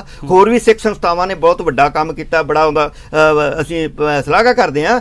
ਪਰ ਜਿੰਨਾ ਉਹ ਆਪਣੇ ਸਾਰੇ ਦੌਰ ਵਿੱਚ ਧਰਮ ਦਾ ਪ੍ਰਚਾਰ ਨਹੀਂ ਕਰ ਸਕੇ ਉਹ ਇਸ ਅੰਦੋਲਨ ਰਾਹੀਂ ਉਹ ਜਿਹੜੇ ਸਿੱਖੀ ਸਿਧਾਂਤ ਆ ਭਾਵੇਂ ਲੰਗਰ ਆ ਤੁਸੀਂ ਦੇਖੋ ਜਿੰਨਾ ਲੰਗਰ ਨੂੰ ਇਸ ਅੰਦੋਲਨ ਦੇ ਵਿੱਚ ਹਰਿਆਣੇ ਦੇ ਲੋਕਾਂ ਨੇ ਜਾਟਾਂ ਨੇ ਜਿਨ੍ਹਾਂ ਦਾ ਕੋਈ ਵਿਰਾਸਤ ਉਸ ਤਰ੍ਹਾਂ ਦੀ ਨਹੀਂ ਹੈਗੀ ਉਹਨਾਂ ਨੇ ਸਪੋਰਟ ਕੀਤਾ ਆ। ਉਹ ਲੰਗਰ ਵਿੱਚ ਪਾਰਟਿਸਿਪੇਸ਼ਨ ਉਹਨਾਂ ਲੋਕਾਂ ਦੀ ਆਈ ਆ। ਸਾਰਾ ਦੁੱਧ ਹੈ ਜਿਹੜਾ ਲਗਭਗ 10 ਲੱਖ ਦਾ ਦੁੱਧ ਹਰ ਰੋਜ਼ ਹੈ ਜਿਹੜਾ ਹਰਿਆਣੇ ਤੋਂ ਇਕੱਠਾ ਹੋ ਕੇ ਲੋਕ ਦੇ ਰਹੇ ਆ। ਉਹ ਕੋਈ ਸਾਰਾ ਜਿਹੜਾ ਆ ਇਹ ਪਹਿਲੀ ਵਾਰੀ ਜਿਹੜਾ ਆ ਸਿਧਾਂਤ ਹੈ ਲੋਕਾਂ ਦੇ ਸਾਹਮਣੇ ਗਿਆ ਆ। ਇਹ ਇਦੋਂ ਪਹਿਲਾਂ ਅਸੀਂ ਦੇਖਦੇ ਆ ਐਜੀਟੇਸ਼ਨ ਲੜੀਆਂ ਜਾਂਦੀਆਂ ਸੀ ਬਾਹਰੋਂ ਕਿਸਾਨ ਆਉਂਦੇ ਸੀ ਕੋਈ ਤਾਮਿਲਨਾਡੂ ਤੋਂ ਆਉਂਦਾ ਤਾਂ ਉਹ ਵਿਚਾਰੇ ਆਪਣੇ ਨਾਲ ਛੋਲੇ ਲੈ ਕੇ ਆਉਂਦੇ ਸੀ ਜਾਂ ਰੋਟੀਆਂ ਬਣਾ ਕੇ ਲਿਆਉਂਦੇ ਸੀ ਤੇ ਉਹ ਪੰਜ ਜੋ ਚਾਰ ਪੰਜ ਦਿਨਾਂ 'ਚ ਖਤਮ ਹੋ ਜਾਂਦੇ ਸੀ ਔਰ ਫਿਰ ਉਹਨਾਂ ਨੂੰ ਜਿਹੜੀ ਆ ਇਹ ਜਿਹੜੀ ਗੁਰੂ ਸਾਹਿਬ ਦੀ ਬਣਾਈ ਸੰਸਥਾ ਲੰਗਰ ਦੀ ਸੰਸਥਾ ਆ ਇਹਨੇ ਇਹ ਸੰਘਰਸ਼ ਨੂੰ ਇੰਨੀ ਸਪੋਰਟ ਕੀਤੀ ਹੈ ਕਿ ਜਿਹੜਾ ਆ ਸੰਘਰਸ਼ 2 ਮਹੀਨੇ ਤੇ ਹੋ ਗਿਆ ਚੱਲਦਿਆਂ ਨੂੰ ਤੇ ਜਦੋਂ ਉੱਥੇ ਅਨਪੜ ਬੀਬੀਆਂ ਨੂੰ ਪਿੰਡਾਂ ਦੀਆਂ ਰਹਿਣ ਵਾਲੀਆਂ ਬੀਬੀਆਂ ਨੂੰ ਔਰਤਾਂ ਨੂੰ ਪੁੱਛਿਆ ਜਾਂਦਾ ਆ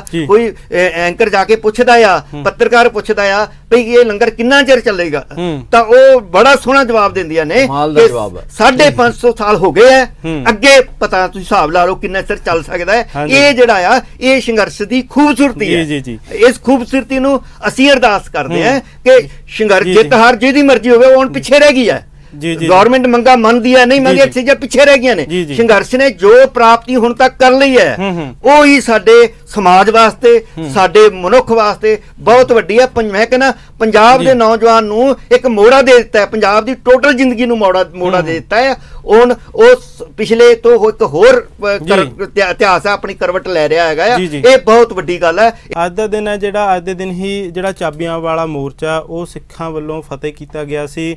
ਕਿਉਂਕਿ ਅੰਗਰੇਜ਼ੀ ਸ਼ਾਸਨ ਕਾਲ ਦੇ ਦੌਰਾਨ ਦਰਬਾਰ ਸਾਹਿਬ ਦੇ ਜਿਹੜੇ ਤੋਸ਼ੇਖਾਨੇ ਦੀਆਂ ਚਾਬੀਆਂ ਉਹ ਅੰਗਰੇਜ਼ਾਂ ਨੇ ਆਪਣੇ ਅਧੀਨ ਲੈ ਲਈਆਂ ਸਨ। ਉਹਦੇ ਵਿਰੋਧ ਵਿੱਚ ਇੱਕ ਵੱਡੇ ਰੂਪ ਦੇ ਵਿੱਚ ਸੰਗਤਾਂ ਨੇ ਇਕਜੁੱਟ ਹੋ ਕੇ ਅੰਦੋਲਨ ਕੀਤਾ ਸੀ।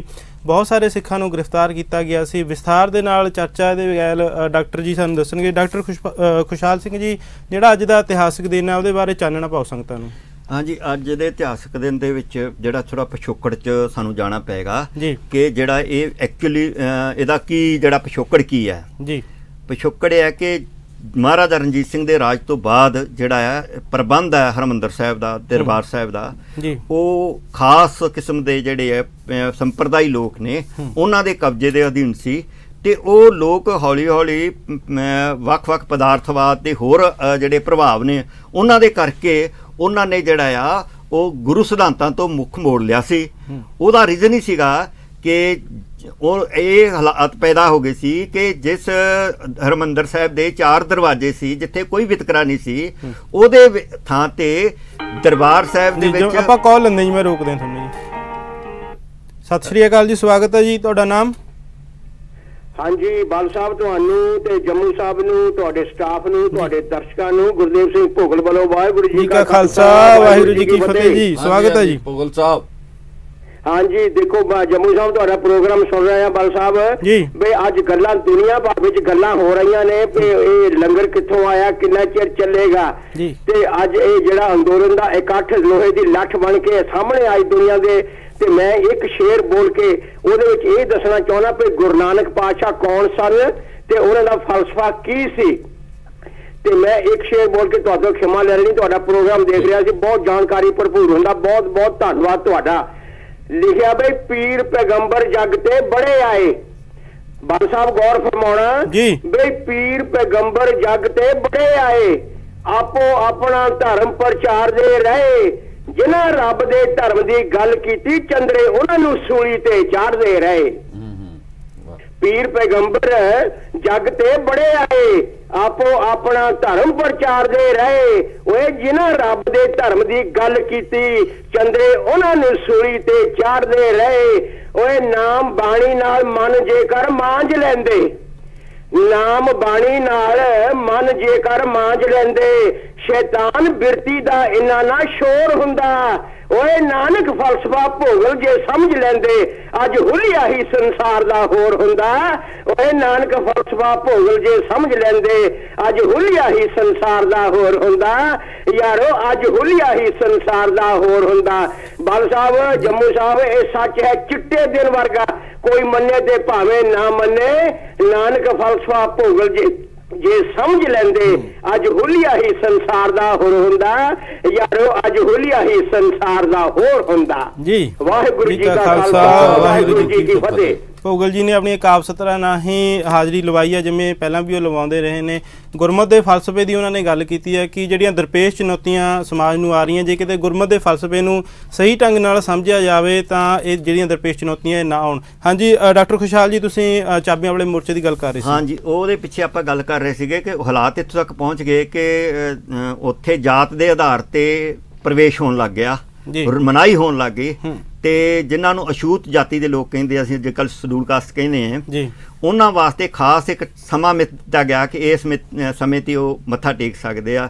ਇਸ ਹਾਲਾਤਾਂ ਦੇ ਵਿੱਚ ਉਹ ਜਿਹੜਾ ਆ ਬਹੁਤ ਜਿਹੜਾ ਇਹਦਾ ਜਿਹੜਾ ਸਿੱਖ ਸਿਧਾਂਤਾਂ ਦੇ ਵਿੱਚ ਜਾਣਕਾਰ ਬੰਦੇ ਗਿਆਨਵਾਨ ਬੰਦਿਆਂ ਨੇ ਇਹਦਾ ਬੁਰਾ ਬਣਾਇਆ ਤੇ ਐਜੀਟੇਸ਼ਨ ਚੱਲੀ। ਪੜ੍ਹੇ ਲਿਖੇ ਜਿਹੜੇ ਖਾਲਸਾ ਕਾਲਜ ਦੇ ਵਿਦਿਆਰਥੀ ਤੇ ਪ੍ਰੋਫੈਸਰ ਸੀ ਉਹ ਜਦੋਂ ਲੈ ਕੇ ਗਏ ਉੱਥੇ ਦੇਗ ਸਜਾ ਕੇ ਸਿਰ ਤੇ ਰੱਖ ਕੇ ਦਲਿਤ ਤੋਂ ਜਿਹੜੇ ਸਿੱਖ ਸਜੇ ਸੀ ਤਾਂ ਉਹਦਾ ਪੁਜਾਰੀਆਂ ਨੇ ਵਿਰੋਧ ਕੀਤਾ। ਪੁਜਾਰੀ ਉੱਥੇ ਛੱਡ ਕੇ ਜਿਹੜੇ ਆ ਉਹ ਭੱਜ ਗਏ ਜਿਹੜਾ ਦਰਬਾਰ ਸਾਹਿਬ ਹੈ ਔਰ ਅਕਾਲ ਤਖਤ ਦੋਨਾਂ ਥਾਵਾਂ ਤੋਂ ਛੱਡ ਕੇ ਭੱਜ ਗਏ। ਤੇ ਉਸ ਤੋਂ ਬਾਅਦ ਜਿਹੜੀਆਂ ਤੋਸ਼ਾਖਾਨੇ ਦੀਆਂ ਚਾਬੀਆਂ ਸੀਗੀਆਂ ਉਹ ਜਿਹੜੀਆਂ ਸਰਕਾਰ ਡੀਸੀ ਦੇ ਕੋਲ ਚਲੀਆਂ ਗਈਆਂ। ਜੀ। ਤੇ ਇਹਦੇ ਵਿੱਚ ਫਿਰ ਇਸ ਚੀਜ਼ ਨੂੰ ਦੇਖ ਕੇ ਜਿਹੜੀ ਸਿੰਘ ਸਭਾ ਮੂਵਮੈਂਟ ਚੱਲੀ ਗੁਰਦੁਆਰਾ ਸੁਧਾਰ ਮੂਵਮੈਂਟ ਸੀਗੀ ਉਹਨੇ ਹੋਰ ਵੀ ਪਾਸੇ ਜਿਹੜੇ ਗੁਰਦੁਆਰਿਆਂ ਦੇ ਵਿੱਚ ਜਿਹੜੇ ਆ ਜਿਹੜੇ ਸੁਧਾਰ ਦੀਆਂ ਗੱਲਾਂ ਕਾਰਵਾਈਆਂ ਸ਼ੁਰੂ ਕਰ ਦਿੱਤੀਆਂ ਸੀਗੀਆਂ ਤਾਂ ਸਟੇਟ ਹੈ ਉਸ ਟਾਈਮ ਨੰਗੀ ਚਿੱਟੀ ਹੈ ਜਿਹੜੀ ਅੰਗਰੇਜ਼ ਸਟੇਟ ਹੈ ਉਹ ਜਿਹੜੇ ਪੁਜਾਰੀ ਸੀਗੇ ਜਿਹੜੇ ਸਿੱਖ ਸਿਧਾਂਤਾਂ ਤੋਂ ਉਲਟ ਚੱਲ ਰਹੇ ਸੀਗੇ ਉਹਨਾਂ ਦੇ ਨਾਲ ਖੜੀ ਸੀ ਔਰ ਸਿੱਖ ਸਮਾਜ ਦੇ ਵਿੱਚ ਇਹਦਾ ਜਿਹੜਾ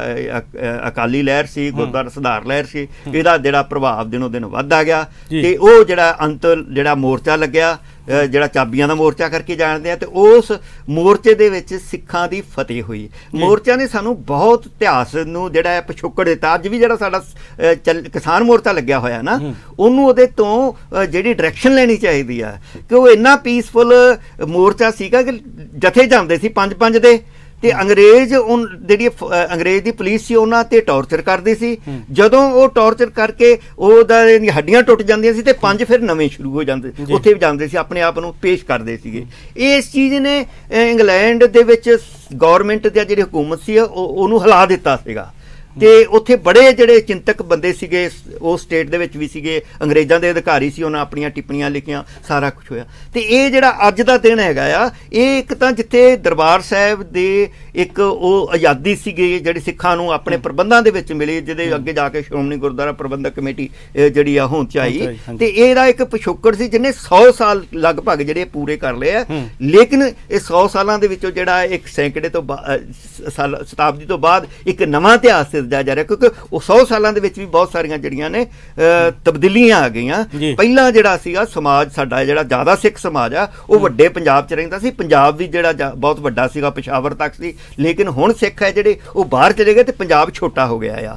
ਅੱਜ ਦੀ ਜਿਹੜੀ ਸ਼੍ਰੋਮਣੀ ਗੁਰਦੁਆਰਾ ਪ੍ਰਬੰਧਕ ਕਮੇਟੀ ਆ ਉਹ ਸਾਰੇ ਸਿੱਖਾਂ ਦੀ ਨੁਮਾਇੰਦਗੀ ਸਾਰੇ ਵਿਸ਼ਵ ਵਿੱਚ ਜਿਹੜੇ ਵਸਦੇ ਸਿੱਖਾਂ ਦੀ ਨੁਮਾਇੰਦਗੀ ਨਹੀਂ ਕਰਦੀ ਉਦੋਂ ਵੱਡੀ ਪੱਧਰ ਤੇ ਕਰਦੀ ਸੀਗੀ। ਜੀ। ਉੱਥੇ ਇਹਦੇ ਨਾਲ ਸਾਡੀਆਂ ਜਿਹੜੀਆਂ ਹੋਰ ਵੀ ਬਹੁਤ ਸਾਰੀਆਂ ਪ੍ਰੋਬਲਮ ਆ ਗਈਆਂ ਨੇ ਤੇ ਹੁਣ ਜਦੋਂ ਪੰਜਾਬ ਦੇ ਵਿੱਚ ਇੱਕ ਨਵਾਂ ਸੱਭਿਆਚਾਰ ਦੇ ਬਦਲਾਅ ਦਾ ਦੌਰ ਚੱਲ ਰਿਹਾ ਹੈ, ਜਿਹਦੇ ਵਿੱਚ ਬੜੇ ਪ੍ਰਭਾਵ ਰਾਜਨੀਤਿਕ ਖੇਤਰ ਤੇ ਜਿਹੜਾ ਧਾਰਮਿਕ ਖੇਤਰ 'ਚ ਵੀ ਆਉਣ ਦੀ ਸੰਭਾਵਨਾਵਾਂ ਨੇ ਜੀ। ਸੋ ਅਸੀਂ ਇਹ ਆਸ ਕਰਦੇ ਹਾਂ ਕਿ ਜਿਹੜਾ ਸਾਡਾ ਨਵਾਂ ਨਵੀਂ ਐਜੀਟੇਸ਼ਨ ਚੱਲੀ ਹੈਗੀ ਹੈ ਇਹ ਕਿਸੇ ਨਵੇਂ ਦਿਸ਼ਾ ਵੱਲ ਸਾਨੂੰ ਲੈ ਕੇ ਜਾਏਗੀ ਔਰ ਨਵੇਂ ਕੀਰਤੀਮਾਨ ਜਿਵੇਂ ਰੋਜ਼ ਹੀ ਉੱਥੇ ਨਵੀਆਂ ਕਹਾਣੀਆਂ ਚੱਲ ਰਹੀਆਂ ਨੇ ਅੱਜ ਜਿੱਥੇ ਵੀ ਦੁਨੀਆ ਭਰ ਦੇ ਵਿੱਚ ਸਿੱਖ ਬੈਠਾ ਆ ਕਿ ਚਾਰ ਸਿੱਖ ਇਕੱਠੇ ਹੁੰਦੇ ਆ ਉੱਥੇ ਹੋਰ ਕੋਈ ਗੱਲ ਨਹੀਂ ਚੱਲਦੀ ਉੱਥੇ ਕਿਸਾਨੀ ਸੰਘਰਸ਼ ਤੇ ਦਿੱਲੀ ਦੀ ਗੱਲ ਹੀ ਚੱਲ ਰਹੀ ਆ ਅੱਜ ਵਿਸ਼ਵ ਵਿੱਚ ਵਸਦਾ ਸਿੱਖ ਹੈ ਜਿਹੜਾ ਉਹਦਾ ਕੇਂਦਰੀ ਧੁਰਾ ਜਿਹੜਾ ਆ ਉਹ ਇੱਕ ਇਹ ਜਿਹੜਾ ਸੰਘਰਸ਼ ਬਣ ਚੁੱਕਿਆ ਹੈ ਹਾਲਾਂਕਿ ਸੰਘਰਸ਼ ਇਕੱਲੇ ਸਿੱਖਾਂ ਦਾ ਸੰਘਰਸ਼ ਨਹੀਂ ਹੈ।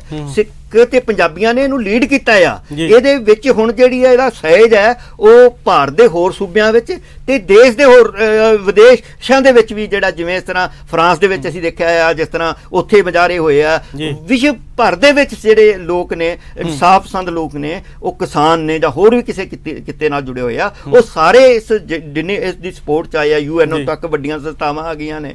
ਉਹ ਸਾਰੀਆਂ ਜਿਹੜੀਆਂ ਜਿਹੜੀਆਂ ਗੱਲਾਂ ਨੇ ਉਹ ਸਾਨੂੰ ਬਹੁਤ ਇਹ ਜਿਹੜੇ ਸਾਨੂੰ ਮਾਣ ਮਹਿਸੂਸ ਹੁੰਦਾ ਆ। ਜਿਹੜਾ 84 ਤੋਂ ਬਾਅਦ ਇਹ ਪੰਜਾਬ ਦਾ ਜਿਹੜਾ ਪੰਜਾਬੀ ਸੀ ਜਾਂ ਸਿੱਖ ਸੀਗਾ ਜਿਹੜੀ ਉਹਦੀ ਪੱਗ ਇੱਕ ਥੱਲੇ ਰੁਲ ਰਹੀ ਸੀਗੀ ਉਹ ਦੁਬਾਰਾ ਜਿਹੜੀ ਹੈ ਉਹ ਉਹਨੂੰ ਰੀਹੈਬ ਹੋਈ ਹੈ। ਦੁਬਾਰਾ ਸਿੱਖਾਂ ਦਾ ਮਾਨ ਸਤਕਾਰ ਹੈ ਜਿਹੜਾ ਭਾਰਤ ਵਿੱਚ ਵੀ ਵਧਿਆ ਤੇ ਦੁਨੀਆ ਦੇ ਵਿੱਚ ਵੀ ਵਧਿਆ ਆ। ਤੇ ਇਹ ਜਿਹੜਾ ਸੰਘਰਸ਼ ਹੈ ਇਹਨੇ ਸਾਨੂੰ ਬਹੁਤ ਕੁਝ ਦਿੱਤਾ ਆ। ਇਹ ਕਿਸਾਨਾਂ ਦੀਆਂ ਮੰਗਾਂ ਪੂਰੀਆਂ ਹੋਣ ਨਾ ਹੋਣ ਇਹ ਬਹੁਤ ਛੋਟੀ ਗੱਲ ਤੇ ਨਗੁਣੀ ਗੱਲ ਹੈ। ਪਰ ਜੋ ਇਹਨੇ ਸਾਨੂੰ ਹੁਣ ਤੱਕ ਪ੍ਰਾਪਤੀਆਂ ਦੇ ਦਿੱਤੀਆਂ ਨੇ ਸੱਭਿਆਚਾਰਕ ਤੌਰ ਤੇ ਜਿਹੜਾ ਭਾਈਚਾਰਕ ਇਸ ਟਾਈਮ ਸਭ ਤੋਂ ਜਿਹੜਾ ਚੈਲੰਜ ਦੇ ਵਿੱਚ ਹੈਗਾ ਆ ਉਹ ਭਾਈਚਾਰਕ ਸਾਂਝ ਹੈਗੀ ਆ। ਔਰ ਇਸ ਨੇ ਭਾਈਚਾਰਕ ਸਾਂਝ ਨੂੰ ਮਜ਼ਬੂਤ ਕੀਤਾ ਆ। ਜਿਸ ਤਰ੍ਹਾਂ ਹਰਿਆਣੇ ਦੇ ਸਿੱਖ ਜਿਹੜੇ ਲੋਕ ਨੇ ਜਾਂ ਤਾਮਿਲਨਾਡੂ ਦੇ ਲੋਕ ਨੇ ਰਾਜਸਥਾਨ ਦੇ ਲੋਕ ਨੇ ਜਿਸ ਤਰ੍ਹਾਂ ਉਹ ਸਿੱਖਾਂ ਦੇ ਬਾਰੇ ਜਿਸ ਤਰ੍ਹਾਂ ਦੇ ਕਮੈਂਟ ਕਰਦੇ ਆ ਸਾਡੀਆਂ ਸੰਸਥਾਵਾਂ ਬਾਰੇ ਕਮੈਂਟ ਕਰਦੇ ਆ ਸਾਡੇ ਕਿਰਦਾਰ ਬਾਰੇ ਕਮੈਂਟ ਕਰਦੇ ਆ ਤਾਂ ਸਾਨੂੰ ਬਹੁਤ ਚੰਗਾ ਮਹਿਸੂਸ ਹੁੰਦਾ ਆ। ਜੀ। ਡਾਕਟਰ ਸਾਹਿਬ ਗੱਲ ਇਹ ਤਾਂ ਹੈਗੀ ਹੈ ਵੀ ਸਾਨੂੰ ਬਹੁਤ ਅੱਛਾ ਮਹਿਸੂਸ ਹੁੰਦਾ। ਹੈ ਜੋ ਸਾਨੂੰ ਵਿਰਾਸਤ ਚ ਮਿਲਿਆ ਜੋ ਇਸ ਅੰਦੋਲਨ ਨੇ ਸਾਨੂੰ ਦਿੱਤਾ ਗੱਲ ਉਹਦੇ ਤੋਂ ਜਿਹੜੀਆਂ ਸਿੱਖਿਆਵਾਂ ਬਣਦੀਆਂ ਉਹਨਾਂ ਨੂੰ ਵਿਹਾਰਕ ਤੌਰ ਤੇ ਕਿਵੇਂ ਲਾਗੂ ਕਰਨਾ ਇਹ ਇੱਕ ਬਹੁਤ ਵੱਡਾ ਸਵਾਲ ਜਿਹੜਾ ਫੇਰ ਖੜਾ ਹੋਏਗਾ। ਕਿਉਂਕਿ ਜਿਹੜੀਆਂ ਗਰਾਵਟਾਂ ਆਈਆਂ ਨੇ ਹੁਣ ਸ਼੍ਰੋਮਣੀ ਗੁਰਦੁਆਰਾ ਪ੍ਰਬੰਧਕ ਕਮੇਟੀ ਦੀ ਜਦੋਂ ਅਸੀਂ ਗੱਲ ਕਰਾਂਗੇ ਤਾਂ ਸਾਨੂੰ ਉਹਨਾਂ ਜਿਹੜੀਆਂ ਆਈਆਂ ਗਰਾਵਟਾਂ ਨੇ ਉਹਨੂੰ ਕਿਵੇਂ ਦੂਰ ਕਰਨਾ? ਇਹ ਅੰਦੋਲਨ ਜਿਹੜਾ ਕੇਵਲ ਸਿੱਖਾਂ ਤੱਕ ਨਹੀਂ ਕੇਵਲ ਪੰਜਾਬ ਤੱਕ ਨਹੀਂ ਹਰਿਆਣੇ ਤੱਕ ਨਹੀਂ ਯੂਪੀ ਤੱਕ ਨਹੀਂ ਰਾਜਸਥਾਨ ਤੱਕ ਨਹੀਂ ਉੱਤਰਾਖੰਡ ਤੱਕ ਨਹੀਂ ਇਹ ਪੂਰੇ ਦੇਸ਼ ਨੂੰ ਆਪਣੇ ਕਲਾਵੇ 'ਚ ਲੈ ਚੁੱਕਾ। ਪੂਰਾ ਦੇਸ਼ ਜਿਹੜਾ ਦੁਨੀਆ ਦੇ ਵਿੱਚ ਜਦੋਂ ਅਸੀਂ ਕਰਦੇ ਹਾਂ ਚਰਚਾ ਉਹ ਇਸ ਪੂਰੇ ਕਿਸਾਨ ਅੰਦੋਲਨ ਦੀ ਚਰਚਾ ਬਣ ਗਈ ਹੈ ਕਿਸਾਨ ਅੰਦੋਲਨ ਨਾਲੋਂ ਵੀ ਇੱਕ ਜਮਹੂਰੀ ਅੰਦੋਲਨ ਦੀ ਇੱਕ ਚਰਚਾ ਹੁੰਦੀ ਹੈ ਦੁਨੀਆ ਦੇ ਮੇਰੇ ਖਿਆਲ 36 37 ਦੇਸ਼ਾਂ ਦੇ ਵਿੱਚ ਤਾਂ ਇਸ ਮੁੱਦੇ ਨੂੰ ਲੈ ਕੇ ਵਿਖਾਵੇ ਹੋ ਚੁੱਕੇ ਉਹ ਇਸ ਅੰਦੋਲਨ ਨਾਲ ਆਪਣੀ ਜਿਹੜੀ ਹੈ ਏਕਤਾ ਜਿਹੜੀ ਹੈ ਜਕਜੈਤੀ ਉਹ ਜ਼ਾਹਰ ਕਰ ਚੁੱਕੇ ਆ। ਜੀ। ਇਹ ਅੰਦੋਲਨ ਜਿਹੜਾ ਆਪਣੇ ਤੌਰ ਤੇ ਜਿਹੜਾ ਇੱਕ ਨਵੀਂ ਛਾਪ ਜਿਹੜੀ ਆ ਸਮਾਜ ਦੇ ਉੱਪਰ ਛੱਡ ਰਿਹਾ। ਹੂੰ। ਗੱਲ ਇਹ ਅੰਦੋਲਨ ਅੱਜ ਖਤਮ ਹੁੰਦਾ 4 ਦਿਨਾਂ ਨੂੰ ਖਤਮ ਹੁੰਦਾ ਮਹੀਨੇ ਨੂੰ ਖਤਮ ਹੁੰਦਾ ਜਾਂ ਇਹ ਸਰਕਾਰ ਦੀ ਹੱਠ ਧਰਮੀ ਤੇ ਨਿਰਭਰ ਕਰੇਗਾ ਅੰਦੋਲਨ ਕਿਵੇਂ ਖਤਮ ਹੋਏਗਾ। ਕਿਉਂਕਿ ਸਰਕਾਰ ਵੀ ਜੋ ਮਰਜ਼ੀ ਦਾਅਵੇ ਕਰੀ ਜਾਵੇ ਅੰਦਰ ਖਾਤੇ ਤੋਂ ਹਿੱਲੀ ਹੋਈ ਹੈ। ਉਹਨਾਂ ਨੂੰ ਲੱਗਦਾ ਵੀ ਅੰਦੋਲਨ ਜਿਹੜਾ ਹੈ ਖਤਮ ਹੋਣਾ ਚਾਹੀਦਾ। ਪਰ ਇੱਕ ਉਹਨਾਂ ਦੀ ਜਿਹੜੀ ਹੱਠ ਧਰਮੀ ਹੈ ਵੀ ਕਾਨੂੰਨ ਨਾ ਸਾਨੂੰ ਵਾਪਸ ਲੈਣੇ ਪੈਣ ਉਹ ਨਾ ਰੱਦ ਕਰਨੇ ਪੈਣ। ਇਹ ਇੱਕੋ ਇੱਕ ਹੈਗੀ ਬਾਕੀ ਗੱਲਾਂ ਜਿਹੜੀਆਂ ਉਹ ਇਸ ਗੱਲ ਤੇ ਸਹਿਮਤ ਹੈ 9-10 ਨੁਕਤੇ ਜਿਹੜੇ ਆ ਉਹ ਜਿਹੜੇ ਕਾਨੂੰਨਾਂ ਦੇ ਵਿੱਚ ਵੱਡੀਆਂ ਗਲਤੀਆਂ ਨੇ ਜਿਹੜੇ ਸੂਬਿਆਂ ਦੇ ਅਧਿਕਾਰ ਹੈ ਜਿਹੜੇ ਸਾਡਾ ਸੰਘੀ ਢਾਂਚਾ ਜਿਹਨੂੰ ਸੱਟ ਮਾਰੀ ਆ ਉਹ ਸਾਰੀ ਇੱਕ ਸਹਿਮਤੀ ਹੈ ਉਹਦੇ ਨਾਲ ਸਾਡੀ ਸੁਪਰੀਮ ਕੋਰਟ ਵੀ ਜਿਹੜੀ ਆ ਬਹੁਤ ਸਰਵੋੱਚ ਨਿਆਇਲਿਆ ਉਹ ਵੀ ਇਹਦੇ 'ਚ ਆ ਗਈ ਹੈ ਉਹ ਵੀ ਇਸ ਤਰੀਕੇ ਨਾਲ ਆ ਰਹੀ ਕਿ ਜਿਹੜਾ ਫੈਸਲਾ ਉਹਨਾਂ ਨੇ ਕਰਨਾ ਸੀ ਉਹਦੀ ਥਾਂ ਤੇ ਹੋਰ ਕੁਝ ਕਰੀ ਜਾ ਰਿਹਾ। ਜੀ। ਇਹ ਸਾਰਾ ਕੁਝ ਜਿਹੜਾ ਹੈ ਇਹ ਲੋਕ ਇਹਨੂੰ ਕੱਢੀ ਕੱਢੀ ਘਟਨਾ ਨੂੰ ਬੜੀ ਬਰੀਕੀ ਨਾਲ ਦੇਖ ਰਹੇ। ਪੂਰੀ ਦੁਨੀਆ ਦੀ ਜਿਹੜੀ ਅੱਖ ਹੈ ਜਿਹੜੇ ਜਮਹੂਰੀ ਲੋਕ ਨੇ ਉਹਨਾਂ ਦੀ ਇਸ ਅੰਦੋਲਨ ਤੇ ਲੱਗੀ ਹੋਈ ਹੈ। ਇਸ ਅੰਦੋਲਨ ਨੇ ਬਹੁਤ ਕੁਝ ਦਿੱਤਾ ਜੀ। ਜਿੱਥੇ ਪੰਜਾਬ ਹਰਿਆਣਾ ਤੇ ਜਿੱਥੇ ਜਿੱਥੇ ਤੱਕ ਵੀ ਅੰਦੋਲਨ ਉਹਦੇ ਚ ਭਾਈਚਾਰਕ ਸਾਂਝ ਵਧੀ ਹੈ। ਜੀ। ਪਿੰਡਾਂ ਦੇ ਵਿੱਚ ਬਹੁਤ ਕੁਝ ਨਵਾਂ ਕੁਝ ਵਾਪਰ ਰਿਹਾ ਇੱਕ ਦੂਜੇ ਦੀ ਮਦਦ ਕਰਨ ਦਾ ਕਿੱਥੇ ਕਿਸਾਨਾਂ ਦੇ ਵਿੱਚ ਇੱਕ ਹੈਬਿਟ ਹੈ। ਆਦਤ ਹੈ ਵੱਟ ਵੱਢਣ ਦਾ। ਮਤਲਬ ਮਤਲਬ ਜ਼ਿਮੀਦਾਰ ਆ ਰੁਕ ਨਹੀਂ ਸਕਦੇ। ਪਰ ਹੁਣ ਉਹਦੇ ਉਲਟ ਕੀ ਹੋ ਰਿਹਾ? ਜਿਹੜੇ ਦਿੱਲੀ ਬੈਠੇ ਆ ਬਾਰਡਰ ਤੇ ਬੈਠੇ ਆ ਉਹਨਾਂ ਦੇ ਖੇਤਾਂ 'ਚ ਖਾਦ ਪਾਉਣ ਦਾ ਉਹਨਾਂ ਦੀ ਮਦਦ ਕਰਨ ਦਾ ਠੀਕ ਹੈ ਮੀਂਹ ਪੈ ਗਿਆ ਪਾਣੀ ਲਾਉਣ ਦੀ ਲੋੜ ਘਟ ਪਈ ਪਰ ਫਿਰ ਵੀ ਪਾਣੀ ਇੱਕ ਦੂਜੇ ਦੀ ਮਦਦ ਕੀਤੀ ਜਾ ਰਹੀ ਹੈ।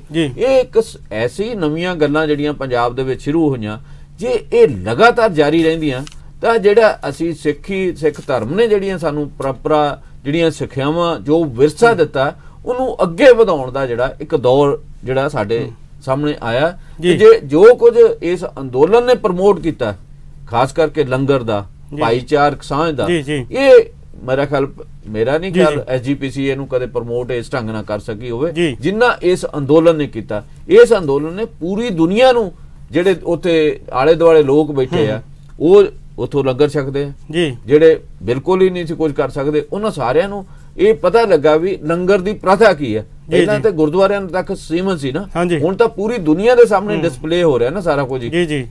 ਸਾਰੀ ਦੁਨੀਆ ਇਹ ਇਸ ਅੰਦੋਲਨ ਨੂੰ ਬੜੇ ਨੇੜਿਓਂ ਦੇਖ ਰਹੀ ਹੈ। ਕੋਸ਼ਿਸ਼ ਕਰ ਰਹੀ ਵੀ ਇਹ ਇਹ ਵੀ ਦੇਖਿਆ ਜਾ ਰਿਹਾ ਵੀ ਜਿਹੜੇ ਲੋਕ ਹੱਠ ਧਰਮੀ ਦੇ ਉਤਰੇ ਆ ਵੀ ਇੰਨੀ ਠੰਡ ਦੇ ਵਿੱਚ ਲੋਕ ਕਿਵੇਂ ਅੰਦੋਲਨ ਕਰ ਰਹੇ ਆ। ਜੀ। ਇੰਨੇ ਲੋਕ ਜਿਹੜੇ ਉੱਥੇ ਜਾਨਾਂ ਕੁਰਬਾਨ ਕਰ ਚੁੱਕੇ ਕਿਉਂ ਕੀ ਵਿਰਸਾ ਕੀ ਇਹਦੇ ਚ? ਵਿਰਾਸਤ ਕੀ ਹੈ? ਜਦੋਂ ਅਸੀਂ ਵਿਰਾਸਤ ਦੀ ਗੱਲ ਕਰਾਂਗੇ ਤਾਂ ਉਦੋਂ ਸਿੱਖ ਧਰਮ ਦੀ ਗੱਲ ਕਰਨੀ ਲਾਜ਼ਮੀ ਹੋਏਗੀ। ਉਦੋਂ ਸਾਡੀਆਂ ਜਿਹੜੀਆਂ ਵੱਖ-ਵੱਖ ਲਹਿਰਾਂ ਚੱਲੀਆਂ ਪੰਜਾਬ ਦੇ ਵਿੱਚ ਉਹਦੇ ਵਿੱਚ ਆਜ਼ਾਦੀ ਦਾ ਅੰਦੋਲਨ ਹੋਏਗਾ ਉਹਦੇ 'ਚ ਗੁਰਦੁਆਰੇ ਦੀਆਂ ਚਾਬੀਆਂ ਦਾ ਅੰਦੋਲਨ ਹੋਏਗਾ ਉਹਦੇ 'ਚ ਗਦਰ ਲਹਿਰ ਦਾ ਅੰਦੋਲਨ ਹੋਏਗਾ। ਹਿੰਦੁਸਤਾਨ ਦੇ ਵਿੱਚ ਜੇ ਕੁਰਬਾਨੀਆਂ ਦੀ ਗੱਲ ਹੋਏਗੀ ਤਾਂ ਪੰਜਾਬੀਆਂ ਦੀ ਕੁਰਬਾਨੀਆਂ 80% ਨੇ। ਜੀ। ਮਤਲਬ ਸਾਰਾ ਕੁਝ ਹੀ ਇਤਿਹਾਸ ਆਪਣੇ ਆਪ ਵਿੱਚ ਬੋਲ ਰਿਹਾ ਜੀ ਸਾਹਿਬ ਦੁਹਰਾਇਆ ਜਾ ਰਿਹਾ ਹੈ ਜਿਹੜਾ ਨਾ। ਜੀ। ਇਸ ਕਰਕੇ ਜਿਹੜੇ ਉੱਥੇ ਲੋਕ ਗਏ ਹੋਏ ਆ ਉਹ ਜਿਹੜੇ ਅੰਦੋਲਨ ਦੇ ਵਿੱਚ ਕੁੱਦੇ ਹੋਏ ਆ ਉਹ ਇਸ ਕਰਕੇ ਵਾਪਸ ਆਉਣ ਲਈ ਤਿਆਰ ਨਹੀਂ ਉਹ ਕਹਿੰਦੇ ਵੀ ਜਿੱਤ ਪ੍ਰਾਪਤ ਕਰਕੇ ਜਾਵਾਂਗੇ। ਜਿੱਤ ਉਹਨਾਂ ਨੇ ਸਿੰਬੋਲਿਕ ਜਿਹੜੀ ਆ ਉਹ ਪ੍ਰਾਪਤ ਕਰ ਲਈ ਹੈ ਉਹ ਜਿਹੜੀ ਅੰਦੋਲਨ ਦੇ ਵਿੱਚ ਏਕਤਾ ਹੈ ਅੰਦੋਲਨ ਨੂੰ ਇੱਕ ਜਮਹੂਰੀ ਢੰਗ ਨਾਲ ਚਲਾਉਣਾ ਜਿਹੜਾ ਇਹ ਸਾਰੀਆਂ ਜਿੱਤਾਂ ਨੇ। ਇਹ ਇਹਨਾਂ ਨੂੰ ਮੈਂ ਸਮਝਦਾ ਵੀ ਇਹ ਜਿਹੜੀਆਂ ਪ੍ਰਾਪਤੀਆਂ ਨੇ ਇਹ ਮੇਰਾ ਖਿਆਲ ਜਿਹੜੀ ਵੱਡੀ ਪ੍ਰਾਪਤੀ ਜਿਹੜੇ ਤਿੰਨੇ ਕਾਨੂੰਨ ਵਾਪਸ ਕਰਾਉਣ ਵਾਲੀ ਹੈ ਉਹਦੇ ਨਾਲ ਵੀ ਆਪਣੇ ਆਪ 'ਚ ਬਹੁਤ ਵੱਡੀਆਂ ਨੇ ਜਿੱਤੇ ਇਸ ਦੇਸ਼ ਦੀ ਧਾਰਾ ਦਾ ਰੁਖ ਮੋੜਤਾ ਹੈ। ਦੇਸ਼ ਨੂੰ ਕਿਹੜੇ ਪਾਸੇ ਵੱਲ ਤੋਰਿਆ ਜਾ ਰਿਹਾ ਸੀਗਾ? ਜਿਵੇਂ ਟਰੰਪ ਨੇ ਆਪਣੇ ਦੇਸ਼ ਦੇ ਵਿੱਚ ਨਕਸਲੀ ਵਿਤਕਰੇ ਤੇ ਪਾਇਆ ਸੀਗਾ ਉਵੇਂ ਸਾਡੇ ਦੇਸ਼ ਦੇ ਵਿੱਚ ਹੋ ਰਿਹਾ ਸੀਗਾ। ਉਹਨੂੰ ਸਾਰੇ ਦੀ ਇਹਨੇ ਧਾਰਾ ਮੋੜਤੀ ਆ ਦੇਸ਼ ਨੂੰ ਇੱਕ ਨਵਾਂ ਰਾਹ ਦਿਖਾਇਆ ਜਿਹੜਾ ਮਿਲਵਰਤਨ ਦਾ ਭਾਈਚਾਰੇ ਦਾ ਇਸ ਪਾਸੇ ਵੱਲ ਤੋਰਿਆ ਤੇ ਇਸੇ ਦੌਰ ਦੇ ਵਿੱਚ ਜਿਹੜੀਆਂ ਅਸੀਂ ਦੇਖਾਂਗੇ ਅੱਜ ਦੋ ਮੀਟਿੰਗਾਂ ਜਿਹੜੀਆਂ ਹੋਣੀਆਂ ਨੇ। ਇੱਕ ਸੁਪਰੀਮ ਕੋਰਟ ਦੇ ਵਿੱਚ ਸੁਣਵਾਈ ਹੈ ਤੇ ਇੱਕ 2 ਵਜੇ ਕਿਸਾਨਾਂ ਨਾਲ ਜਿਹੜੇ ਤਿੰਨ ਕੇਂਦਰੀ ਮੰਤਰੀਆਂ ਦੀ ਸੁਣਵਾਈ ਆ। ਉਹ ਜਿਹੜੀ ਗੱਲ ਅਸੀਂ ਪਹਿਲਾਂ ਵੀ ਕਹਿੰਨੇ ਆ ਕਿ ਕੇਂਦਰ ਸਰਕਾਰ ਕਿਸਾਨਾਂ ਨੂੰ ਕਹਿੰਦੀ ਵੀ ਤੁਸੀਂ ਆਪਣੀ ਹੱਟ ਤਦਮੀ ਛੱਡੋ ਤੁਸੀਂ ਕਾਨੂੰਨ ਵਾਪਸ ਲੈਣ ਦੀ ਗੱਲ। ਜੇ ਅਸੀਂ ਪਹਿਲਾਂ ਵੀ ਕਿਹਾ ਵੀ ਕੇਂਦਰ ਸਰਕਾਰ ਕਿਉਂ ਨਹੀਂ ਮੰਨਦੀ? ਉਹ ਉਹ ਕਿਉਂ ਨਹੀਂ ਪਿੱਛੇ ਹਟਦੀ? ਜੀ ਜੀ ਜੰਮੂ ਜੀ ਜਿਵੇਂ ਜਿਵੇਂ ਨਾ ਜਿਹੜੀ ਹੱਠ ਕਿਹਾ ਜਾ ਰਿਹਾ ਪਰ ਉਹਨੂੰ ਅਸੀਂ ਚੜ੍ਹਦੀ ਕਲਾ ਦਾ ਪ੍ਰਤੀਕ ਕਹਿੰਦੇ ਆ। ਜਿਵੇਂ ਤੁਸੀਂ ਇਤਿਹਾਸ ਦੀ ਗੱਲ ਕਰੀ ਆ ਚੜ੍ਹਦੀ ਕਲਾ ਦਾ ਜਿਹੜਾ ਸੰਕਲਪ ਹੈ ਇਹਦੇ 'ਚ ਕੋਈ ਸ਼ੱਕ ਨਹੀਂ ਰਾਜਨੀਤਿਕ ਸਮਾਜਿਕ ਸੱਭਿਆਚਾਰ ਇਨਕਲਾਬ ਗੁਰੂ ਗੋਬਿੰਦ ਸਿੰਘ ਮਹਾਰਾਜ ਨੇ ਸਿਰਜਿਆ ਸੀ। ਇਹਦੇ ਵਿੱਚ ਡਾਕਟਰ ਖੁਸ਼ਹਾਲ ਜੀ ਮੈਂ ਤੁਹਾਡੇ ਨਾਲ ਨਾ ਕੁਝ ਤੁਕਾਂ ਜੰਮੂ ਜੀ ਸਾਂਝੀਆਂ ਕਰਦਾ ਜਿਹੜੀਆਂ ਸੀਨਾ ਬਸੀਨਾ ਚੱਲ ਰਹੀਆਂ ਨੇ ਚੜ੍ਹਦੀ ਕਲਾ ਦਾ ਜਿਹੜਾ ਸੰਕਲਪ ਆ ਉਹਨੂੰ ਦੁਹਰਾ ਰਹੀਆਂ ਨੇ। पेड़ों को मैं शेर बनाऊं, राजन के संग रंक लड़ाऊं, पूप गरीबन को कहलाऊं, चिड़ियों से मैं बाज तड़ाऊं, सवा लाख से एक लड़ाऊं तब है ਗੋਬਿੰਦ ਸਿੰਘ ਨਾਮ ਕਹਾਉਂ ਡਾਕਟਰ ਖੁਸ਼ਹਾਲ ਜੀ ਖਾਲਸਾ ਪੰਥ ਦੀ ਸਿਰਜਣਾ ਤੋਂ ਬਾਅਦ 17ਵੀਂ ਸਦੀ 18ਵੀਂ ਸਦੀ ਦਾ ਜਿਹੜਾ ਇਤਿਹਾਸ ਹੈ, ਸਿੱਖ ਇਤਿਹਾਸ, ਉਹ ਸਭ ਨੂੰ ਪਤਾ ਵੀ ਕਿੰਨਾ ਕਸ਼ਟਦਾਇਕ ਰਿਹਾ। ਉਸ ਤੋਂ ਬਾਅਦ ਇੱਕ ਸੁਨਹਿਰੀ ਕਾਲ ਆਉਂਦਾ ਮਹਾਰਾਜਾ ਰਣਜੀਤ ਸਿੰਘ ਦਾ ਕਾਲ ਆਉਂਦਾ। ਉਸ ਤੋਂ ਬਾਅਦ ਮੌਜੂਦਾ ਹਾਲਾਤ। ਇਹਨੂੰ ਜਿਹੜਾ ਚੜ੍ਹਦੀ ਕਲਾ ਦਾ ਸੰਕਲਪ ਆ ਜੀ ਤੁਸੀਂ ਕਿਵੇਂ ਵੇਖਦੇ ਹੋ? ਇਹ ਚੜ੍ਹਦੀ ਸਿੱਖਾਂ ਦੇ ਤਾਂ ਦੇਖੋ ਜੀ ਅਸੀਂ ਜਦੋਂ ਜੋੜ ਮੇਲੇ ਹੁੰਦੇ ਆ ਸਾਡੇ ਸ਼ਹੀਦੀ ਜੋੜ ਮੇਲੇ ਆ ਫਤਿਹਗੜ੍ਹ ਸਾਹਿਬ ਵਾਲੇ ਲੈ ਲਈਏ। ਵੈਸੇ ਤਾਂ ਐਡਾ ਵੱਡਾ ਜਿਹੜਾ ਆ ਜਿਹੜਾ ਆ ਦੁਨਿਆਵੀ ਤੌਰ ਤੇ ਸੱਟ ਹੈਗੀ ਆ ਕਿ ਛੋਟੇ ਬੱਚੇ ਸ਼ਹੀਦ ਹੋ ਜਾਣੇ ਮਾਤਾ ਸ਼ਹੀਦ ਹੋ ਜਾਣੀ ਤੇ ਲੇਕਿਨ ਸਿੱਖਾਂ ਨੇ ਕਦੀ ਉਹਨੂੰ ਨਾਸ਼ਾ ਜਾ ਕੇ ਨਹੀਂ ਮਨਾਇਆ। ਜੀ। ਸਿੱਖ ਉਹਨੂੰ ਚੜ੍ਹਦੀ ਕਲਾ ਦੇ ਰੂਪ ਵਿੱਚ ਲੈਂਦੇ ਰਹੇ ਆ। ਉੱਥੇ ਭਾਵੇਂ ਲੰਗਰਾਂ ਦਾ ਰੂਪ ਹੈ ਤੇ ਪਿਛਲੇ ਦਾ ਸਾਡੀ ਰਵਾਇਤ ਰਹੀ ਹੈ ਕਿ ਜਿਹੜਾ ਵੀ ਉੱਥੇ ਮੇਲੇ 'ਚ ਆਉਂਦਾ ਸੀ ਜੋੜ ਮੇਲੇ 'ਚ ਆਉਂਦਾ ਸੀਗਾ ਉੱਥੋਂ ਇੱਟਾਂ ਲੈ ਕੇ ਦਰਿਆ 'ਚ ਸਿੱਟਦਾ ਸੀ ਚੱਕ ਕੇ। ਤੇ ਸਿੱਖ ਮਤਲਬ ਉਸ ਨੂੰ ਚੜ੍ਹਦੀ ਕਲਾ 'ਚ ਲੈਂਦੇ ਰਹੇ ਆ। ਇਹਨੇ ਜਿਹੜਾ ਚਿੜੀਆਂ ਤੇ ਬਾਜ ਚੜਾਉਣ ਵਾਲੀ ਗੱਲ ਹੈ ਜਾਂ ਇਨਹੀ ਕੋ ਮੈਂ ਸਰਦਾਰ ਬਣਾਉਣ ਵਾਲੀ ਗੱਲ ਹੈ ਇਹ ਐਕਚੁਅਲੀ ਸਿਧਾਂਤ ਇੱਥੇ ਲਾਗੂ ਕਰਕੇ ਦਿਖਾਇਆ ਆ। ਕੋਈ ਨਹੀਂ ਸੀ ਸੋਚ ਸਕਦਾ ਕਿ ਦਲਤਾਂ ਦੇ ਲੋਕਾਂ ਨੂੰ ਰਾਜ ਮਿਲ ਜੂਗਾ ਦਲਤ ਲੋਕਾਂ ਨੂੰ। ਉਹ ਸਮਾਣੇ ਦਾ ਗਵਰਨਰ ਜਦੋਂ ਵੀਰ ਸਿੰਘ ਨੂੰ ਬਣਾਇਆ ਬੰਦਾ ਸਿੰਘ ਬਹਾਦਰ ਨੇ ਫਤਿਹ ਸਮਾਣਾ ਫਤਿਹ ਕਰਨ ਤੋਂ ਬਾਅਦ ਸਰਹੰਦ ਕਰਨ ਤੋਂ ਫਤਿਹ ਕਰਨ ਤੋਂ ਬਾਅਦ ਜਦੋਂ ਐਵੇਂ ਦੇ ਲੋਕ ਜਿਹੜੇ ਆ ਉਹ ਪਾਵਰ ਚ ਆਏ। ਤੇ ਉਹ ਜਿਹੜਾ ਸਮਾਜ ਦੇ ਵਿੱਚ ਪਹਿਲੀ ਚੇਂਜ ਆਈ। ਹੁਣ ਵੀ ਤੁਸੀਂ ਦੇਖੋ ਬੰਦੇ ਬਹਾਦਰ ਨੂੰ ਜੇ ਸਭ ਤੋਂ ਬਾਅਦ ਯਾਦ ਕੀਤਾ ਗਿਆ ਤੇ ਇਸ ਅੰਦੋਲਨ ਦੇ ਵਿੱਚ ਯਾਦ ਕੀਤਾ ਗਿਆ। ਉਹਦੀ ਪਬਲਿਸਿਟੀ ਹੋਈ ਹੈ। ਬੰਦਾ ਸਿੰਘ ਬਹਾਦਰ ਹੀ ਪਹਿਲਾਂ ਸ਼ਤਾਬਦੀ ਅਸੀਂ ਬਣਾ ਕੇ ਹਟੇ ਆ ਪਰ ਉਹਦੇ ਨਾਲੋਂ ਵੀ ਵੱਧ ਜਿਹੜਾ ਹੁਣ ਉਸ ਨੂੰ ਜਿਸ ਤਰ੍ਹਾਂ ਯਾਦ ਕੀਤਾ ਗਿਆ ਆ ਕਿਉਂਕਿ ਉਹਨਾਂ ਨੇ ਇੱਕ ਇਨਕਲਾਬ ਲਿਆਂਦਾ ਆ ਕਿਰਸਾਨੀ ਦੇ ਮਸਲੇ 'ਚ। ਇਸ ਤੋਂ ਪਹਿਲਾਂ ਜ਼ਿਮੀਂਦਾਰਾਂ ਦਾ ਇੱਕ ਸਿਸਟਮ ਚੱਲਦਾ ਸੀ ਤੇ ਕਿਰਤੀ ਲੋਕ ਹੋਰ ਹੁੰਦੇ ਸੀ ਜ਼ਿਮੀਂਦਾਰ ਹੋਰ ਹੁੰਦੇ ਸੀਗੇ। ਬੰਦਾ ਸਿੰਘ ਬਹਾਦਰ ਨੇ ਹਲਵਾਕਾਂ ਨੂੰ ਉਹਨਾਂ ਜ਼ਮੀਨ ਦੇ ਹੱਕ ਦੇ ਕੇ ਇਸ ਖਿੱਤੇ ਦੇ ਵਿੱਚ ਇੱਕ ਨਵਾਂ ਇਨਕਲਾਬ ਲੈ ਕੇ ਆਂਦਾ ਸੀਗਾ ਤੇ ਉਹ ਚੀਜ਼ ਦਾ ਜਿਹੜਾ ਆ ਹੁਣ ਤੱਕ ਜਿਹੜਾ ਪੰਜਾਬ ਦਾ ਪੰਜਾਬ ਦਾ ਕਿਸਾਨ ਹੈ ਜਿਹੜਾ ਉਹ ਲੜਨ ਲਈ ਕਿਵੇਂ ਸਮਰੱਥ ਹੈ? ਬਾਕੀ ਦੇ ਭਾਰਤ ਦੇ ਪੰਜਾਬ ਜਦੋਂ ਟੀਵੀ ਤੇ ਵੀ ਮੀਡੀਆ ਦੇ ਵੀ ਕੁਝ ਹਾਊਸ ਨੇ ਜਿਹੜੇ ਉਹ ਇਸ ਤਰ੍ਹਾਂ ਪੇਸ਼ ਕਰਦੇ ਆ ਦੇਖੋ ਜੀ ਐਡੇ ਮਹਿੰਗੇ ਟਰੈਕਟਰ ਲੈ ਰਹੇ ਆ ਇੰਨਾ ਮਹਿੰਗਾ ਖਾਣਾ ਖਾ ਰਹੇ ਆ ਇਹ ਬਦਾਮ ਇਹ ਸਾਰੀਆਂ ਚੀਜ਼ਾਂ ਚੱਲਦੀਆਂ ਨੇ ਤੇ ਪੰਜਾਬ ਦੇ ਜਿਹੜਾ ਕਿਸਾਨ ਹੈ ਉਹ ਤੇ ਇਨਕਲਾਬ ਆ ਗਿਆ ਆ। ਉਹ ਉਸ ਤਰ੍ਹਾਂ ਦਾ ਕਿਸਾਨ ਨਹੀਂ ਹੈਗਾ ਜਿਹੜਾ ਮਹਾਰਾਸ਼ਟਰ ਦੀਆਂ ਝੁੱਗੀਆਂ 'ਚ ਰਹਿਣ ਵਾਲਾ ਜਾਂ ਬਿਹਾਰ ਦੀਆਂ ਝੁੱਗੀਆਂ 'ਚ ਰਹਿਣ ਵਾਲਾ ਕਿਸਾਨ ਨਹੀਂ ਹੈ। ਇਹ ਕਿਸਾਨ ਬਦਲਿਆ ਕਿਸਾਨ ਆ ਜਿਨੇ ਇੱਥੇ ਸਤਾ ਦੇ ਵਿੱਚ ਭਾਗੀਦਾਰੀ ਕੀਤੀ ਹੈ। ਇਹ ਸਤਾ ਦਾ ਹਿੱਸੇਦਾਰ ਰਿਹਾ ਆ। ਇਹ ਜਿਹੜਾ ਹੈ ਦੁਨੀਆ ਭਰ ਦੇ ਜਿਹੜੇ ਲੋਕਾਂ ਨੂੰ ਖਰਾਉਣ ਦੇ ਸਮਰੱਥ ਹੈ ਤੇ ਇਹਨੇ ਇਹਦੇ ਵਿੱਚ ਜਿਹੜਾ ਇਨਕਲਾਬ ਹਰਾ ਇਨਕਲਾਬ ਲਿਆ ਕੇ ਸਾਰੇ ਹਿੰਦੁਸਤਾਨ ਨੂੰ ਜਿਹੜਾ ਇਹਦਾ ਖੁਰਾਕ ਦਾ ਮਸਲਾ ਸੀ ਉਹਨੂੰ ਖਤਮ ਕੀਤਾ। ਕੀਤਾ ਆ ਔਰ ਇਹਦਾ ਬੜੀ ਵੱਡੀ ਕੰਟਰੀਬਿਊਸ਼ਨ ਆ ਪੰਜਾਬ ਦੇ ਕਿਸਾਨ ਦੇ। ਔਰ ਇਹ ਜਿਹੜੇ ਅੱਜ ਕੱਲ ਵੀ ਸਾਡੇ ਕੁਝ ਬੁੱਧੀਜੀਵੀ ਵਰਗ ਵੀ ਆ ਜਿਹੜੇ ਕਿਸਾਨਾਂ ਨੂੰ ਸਲਾਹਾਂ ਦੇ ਰਿਹਾ ਤੁਸੀਂ ਇਦਾਂ ਖੇਤੀ ਕਰਿਆ ਕਰੋ ਇਦਾਂ ਕਰਿਆ ਕਰੋ। ਪੰਜਾਬ ਇੱਕੋ ਇੱਕ ਪੰਜਾਬ ਦਾ ਕਿਸਾਨ ਹੈ ਜਿਨੇ ਜਿਹੜੀ ਪ੍ਰੋਡਕਸ਼ਨ ਹੈ ਪਰ ਏਕੜ ਉਹ ਦੁਨੀਆ ਦੇ ਵਿੱਚ ਬੈਸਟ ਕੀਤੀ ਹੈ। ਔਰ ਦੁਨੀਆ ਦੇ ਵਿੱਚ ਸਭ ਤੋਂ ਘੱਟ ਲੋਕਾਂ ਦੇ ਖਰਚੇ ਨਾਲ ਸਬਸਿਡੀ ਨਾਲ ਉਹਨੇ ਸਰਵਾਈਵ ਕੀਤਾ ਆ।